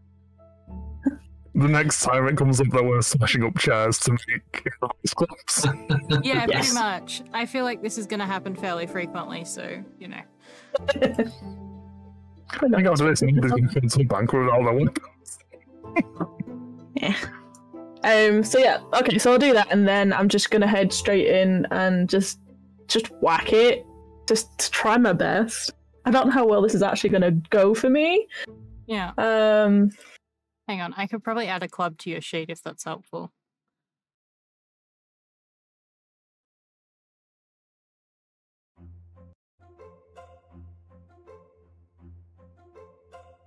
Because I think even with the entangle, I could probably just I can just about get there.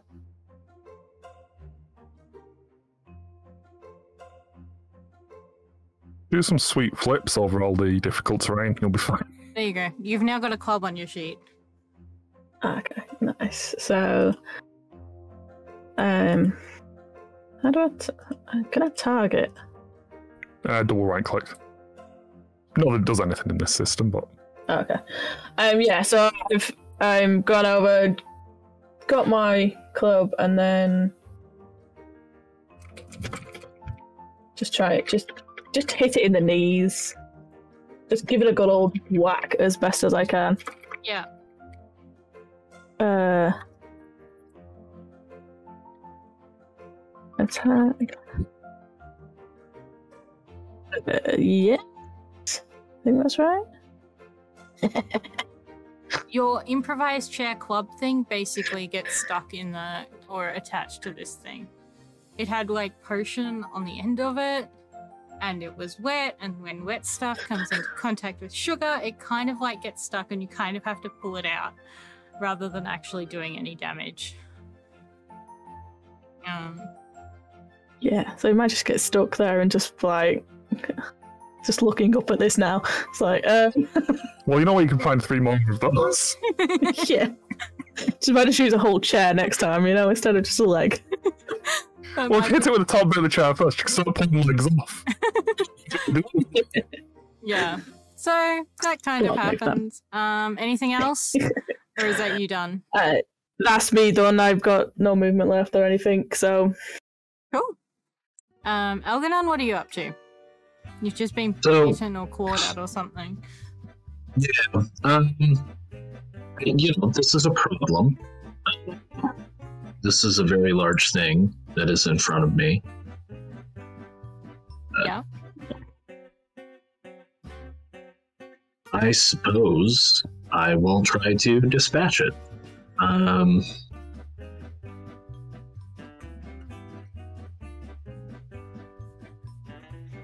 I feel like uh, that I've, you know, being very aware of my own abilities, I feel like I've struck it, struck it a terrible blow with my lightning bolt. Uh, so I'm just going to go ahead and hit it with a follow-up magic missile. Yeah. And yeah, three darts, all three, into its face. Go for it. Roll damage. I guess I have to roll them each individually, huh? Okay. So there's two. Um, s- oh, damage again. So second is two, total of three, so six total so far. Yeah. Still alive? Yeah, still alive. It looks pretty beaten up though. And another three, total of nine. Yeah, and it it definitely looks a lot less healthy than what it did before. But it's still alive. No, that's not good for me. That's fine. Um, and before we jump into Victor's turn, I, oh, unless there's anything else you want to do, I mean, I gotta run. I'm gonna try and get away from it. okay. Um. So yeah, then we'll get a get a swipe at me. Yeah. Do a flip. You'll No, get a I'm just moving. I don't do flips. So All right. It does. It rakes at you with its claws. It rolls. Does a 13 hit you? it do. Ish.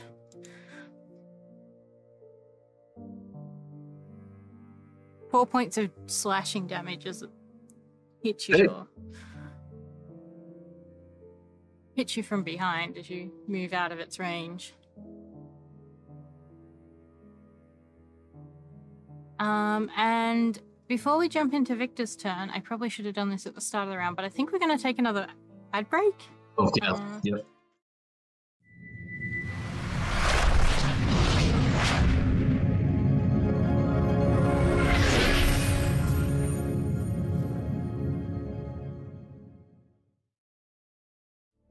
And yes, we are back into combat.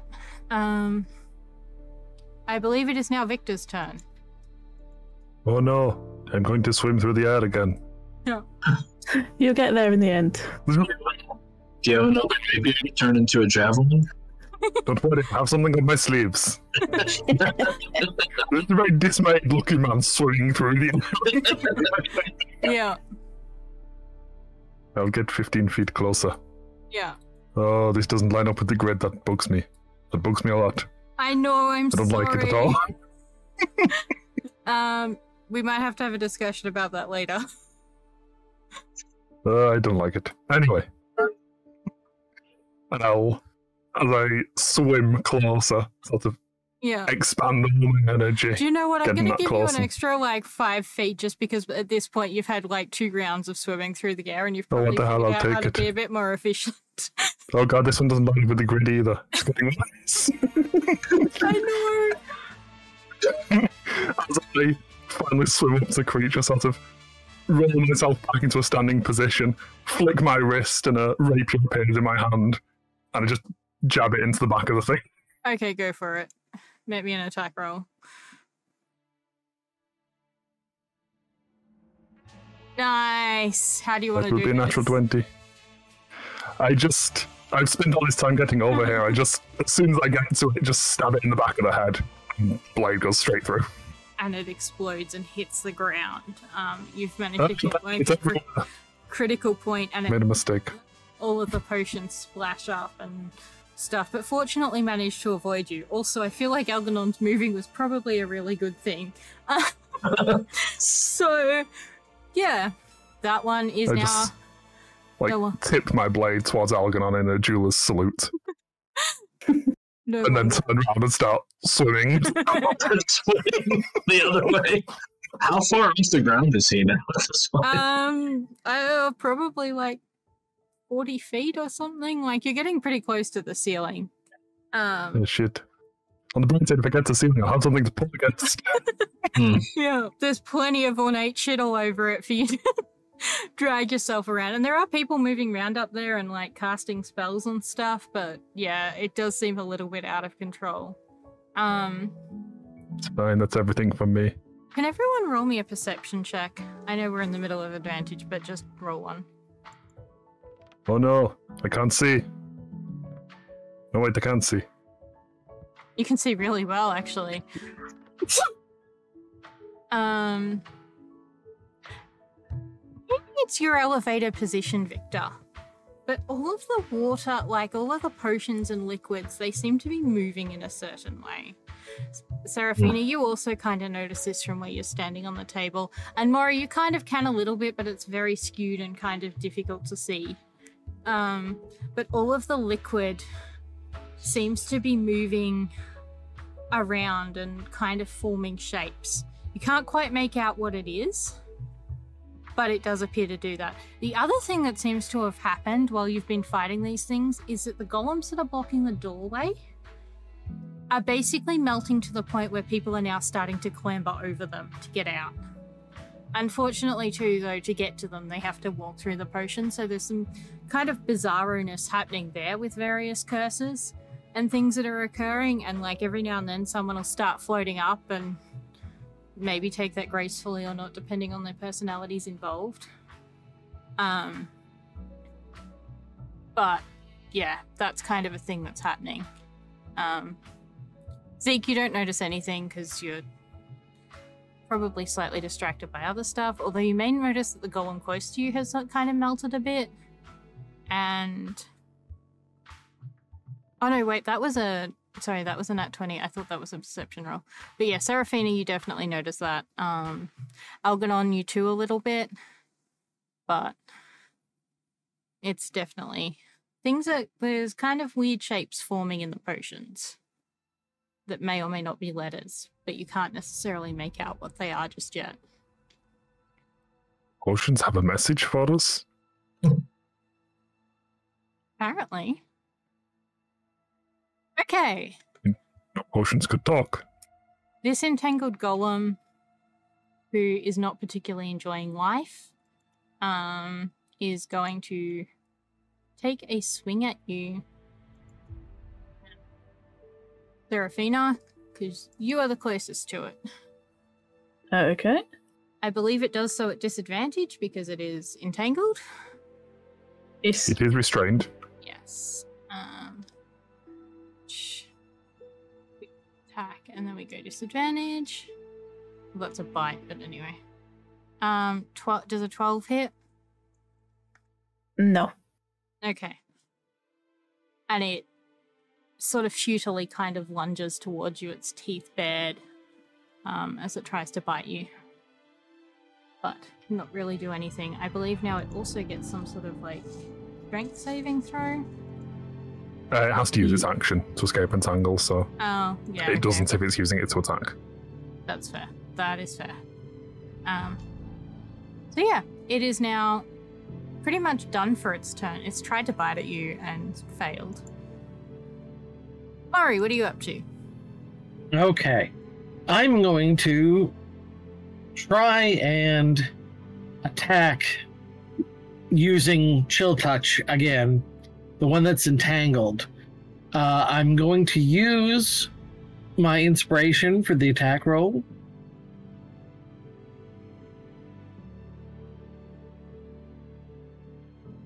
And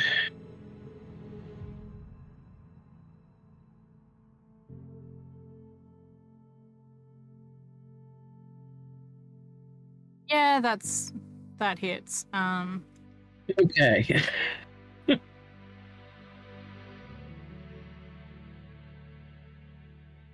Yeah. How do you want to destroy it? Well, since Chill Touch does necrotic damage despite the name, uh, I think that I am just going to desiccate it until it is fragile and then smash. And it just explodes in a shower of weird crystal chunks. Um, there's a strange hissing sound from behind you as well as this occurs. Um, as the golems that are blocking all of the exits melt away into nothing. And people start trying to push their way through. It's difficult for you all to make out, um, although I think Victor probably has the best view of this. Um, towards the center of the room, but down, maybe more towards the where the platform is. A kind of the all of the blue from the golems has started to form, um, and from everything else that's kind of mixed in and they start swirling and creating words that just says Tains will pay. Tain- Tains will. no, the floor has a message. I think it's funny because you're the best one to see it because you're floating above it all. From up here, I can see everything. I can even see where I left my drink. Ken, um, you're good, Mad? Uh, yeah, the USB my uh, camera's connected to randomly disconnected for some reason. I didn't actually notice until just then. Sorry. That's not good. Ooh. I think the Tain should pay for that too. And more of the people on the ceiling, there's kind of this ripple that echoes around as this occurs. But everyone's kind of focused on getting out, except for the people who are currently floating around on the roof because they don't really have a way down as of yet.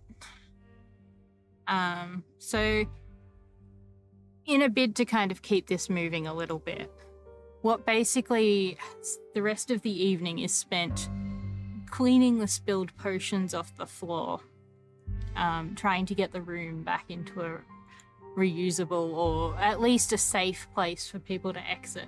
And as people are moving around and leaving this space, where what is usually a night of merriment and not necessarily a chance to let one's hair down, but to at least put it into some fun styles and to experiment and meet with each other has since become more of a political statement. It's become more of a thing where there is all manner of drama and no one's really quite sure who had posted this message or how it had come to be. No one's really sure either how um how someone had managed to mess with what was supposed to be a night of merriment and festivity to announce an engagement. Who would be powerful enough to piss off the most powerful family in Sharn? Who would be fa- powerful enough to piss off the family that they're marrying into again? Who who created the potions and the candy golems and who spent all of that time creating this mess, I guess. So what what murder and mischief are basically afoot is kind of like on everyone's lips and it's i guess the air is kind of a little bit of buzz there's a little bit of horror and shock that someone would move against them there is excitement and glee from some families who have just been waiting for an opportunity for the Tains to, for, you know, stumble basically.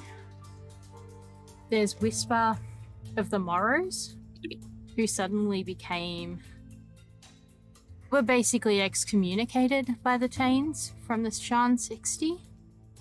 There's all sorts of stuff swirling around, much like the potions had formerly been all over the floor.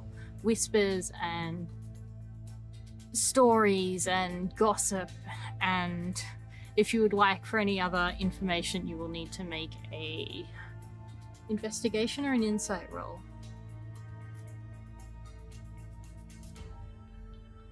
I'm still investigating the roof right now.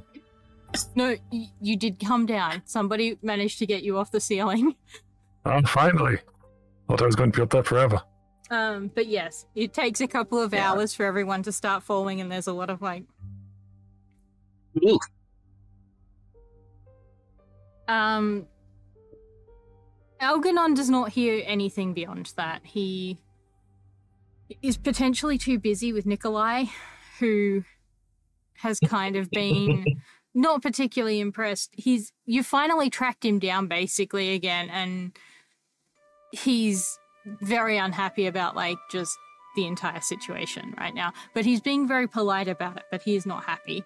Um, so most of your attention is spent trying to like control one of your wayward wards.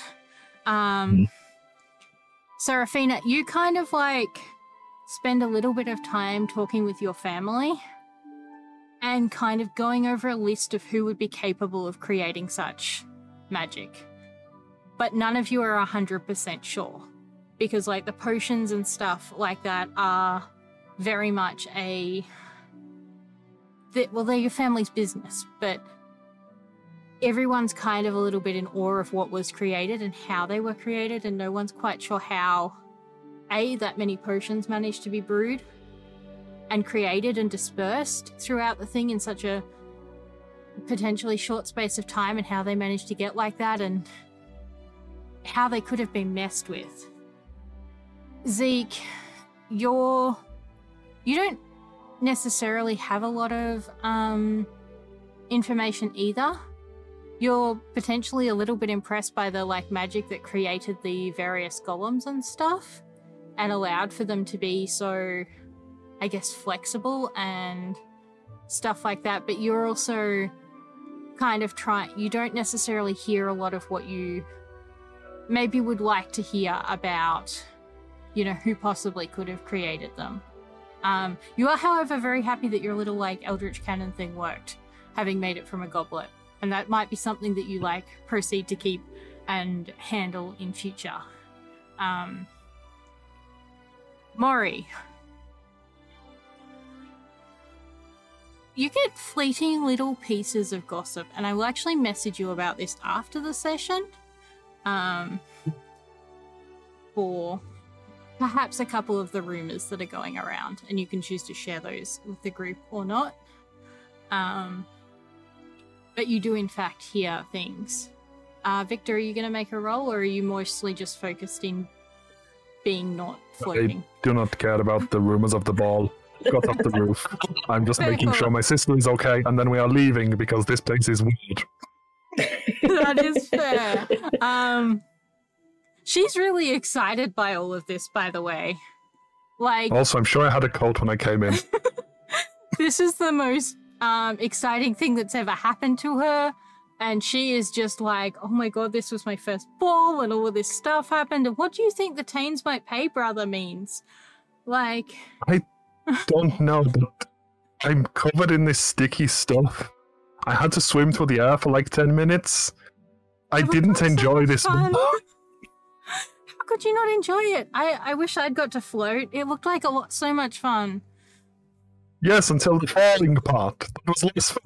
Somebody cast Featherfall on you, you're fine. I don't want to fall slow. That feels worse than falling at normal speed. Um, and yeah, You're just falling for longer. That's fair. And yes, there's a little bit of um drama and stuff. Like the banter continues until you head basically home. And all of you make it back to your respective bed chambers. You get changed out of your clothing. And reflect, I guess, on an evening of revelry and excitement and a little bit of drama. Um, First, I call in my apprentices to start work on repairing my clothes yeah. after they've been damaged and cleaning them. Yeah. um, which I give them leave to use magic if they choose to do so. Just you know, don't make it worse. And one of them looks so like excited about this because like they hold up this like really bright green potion and I'm like, look, Algernon, look, I made this. I'm gonna like test it out. It's it's like a special laundry liquid for like potions and stuff. Wonderful. I, oh my So, God. I, I after after handing, um, I, I'm not sure which one it, it is that you want doing this, but after handing them the pile of clothing and whatnot, I take back my cloak of protection and I will take care of it on my own. You can test your potion on other stuff. and they look kind of a little bit devastated at this, but also like, yes, fair enough. I, I did burn through a few things testing this, so yes, no, thank you. And they scurry off with it looking like all of their Christmases have come at once because they have finally like they've tested stuff out on cotton and stuff, but they haven't necessarily had a chance to like test it out on finer materials. So I guess we'll find out how that goes next session. um, which is probably going to be in about two weeks from now. Um, Yeah. And we will be with the attendance of the. Where were we? Ah, yes, Aureon's Crown, the 26th of, I believe, Dravago, which is another holiday. This particular one is related to knowledge and is one of the sovereign hosts' more religious things. So, yeah, kind of uh, passage of time are we looking at in between? uh, about 20 days. So 20 I days, will be okay. in touch with all of you between sessions and hand out some gossip and some other things that may have occurred off screen, which we will recap at the start of the next session. Um, I a few of you might have some letters to write as well. Um, and yeah, we will also find out the result of everyone's reputations after this ball.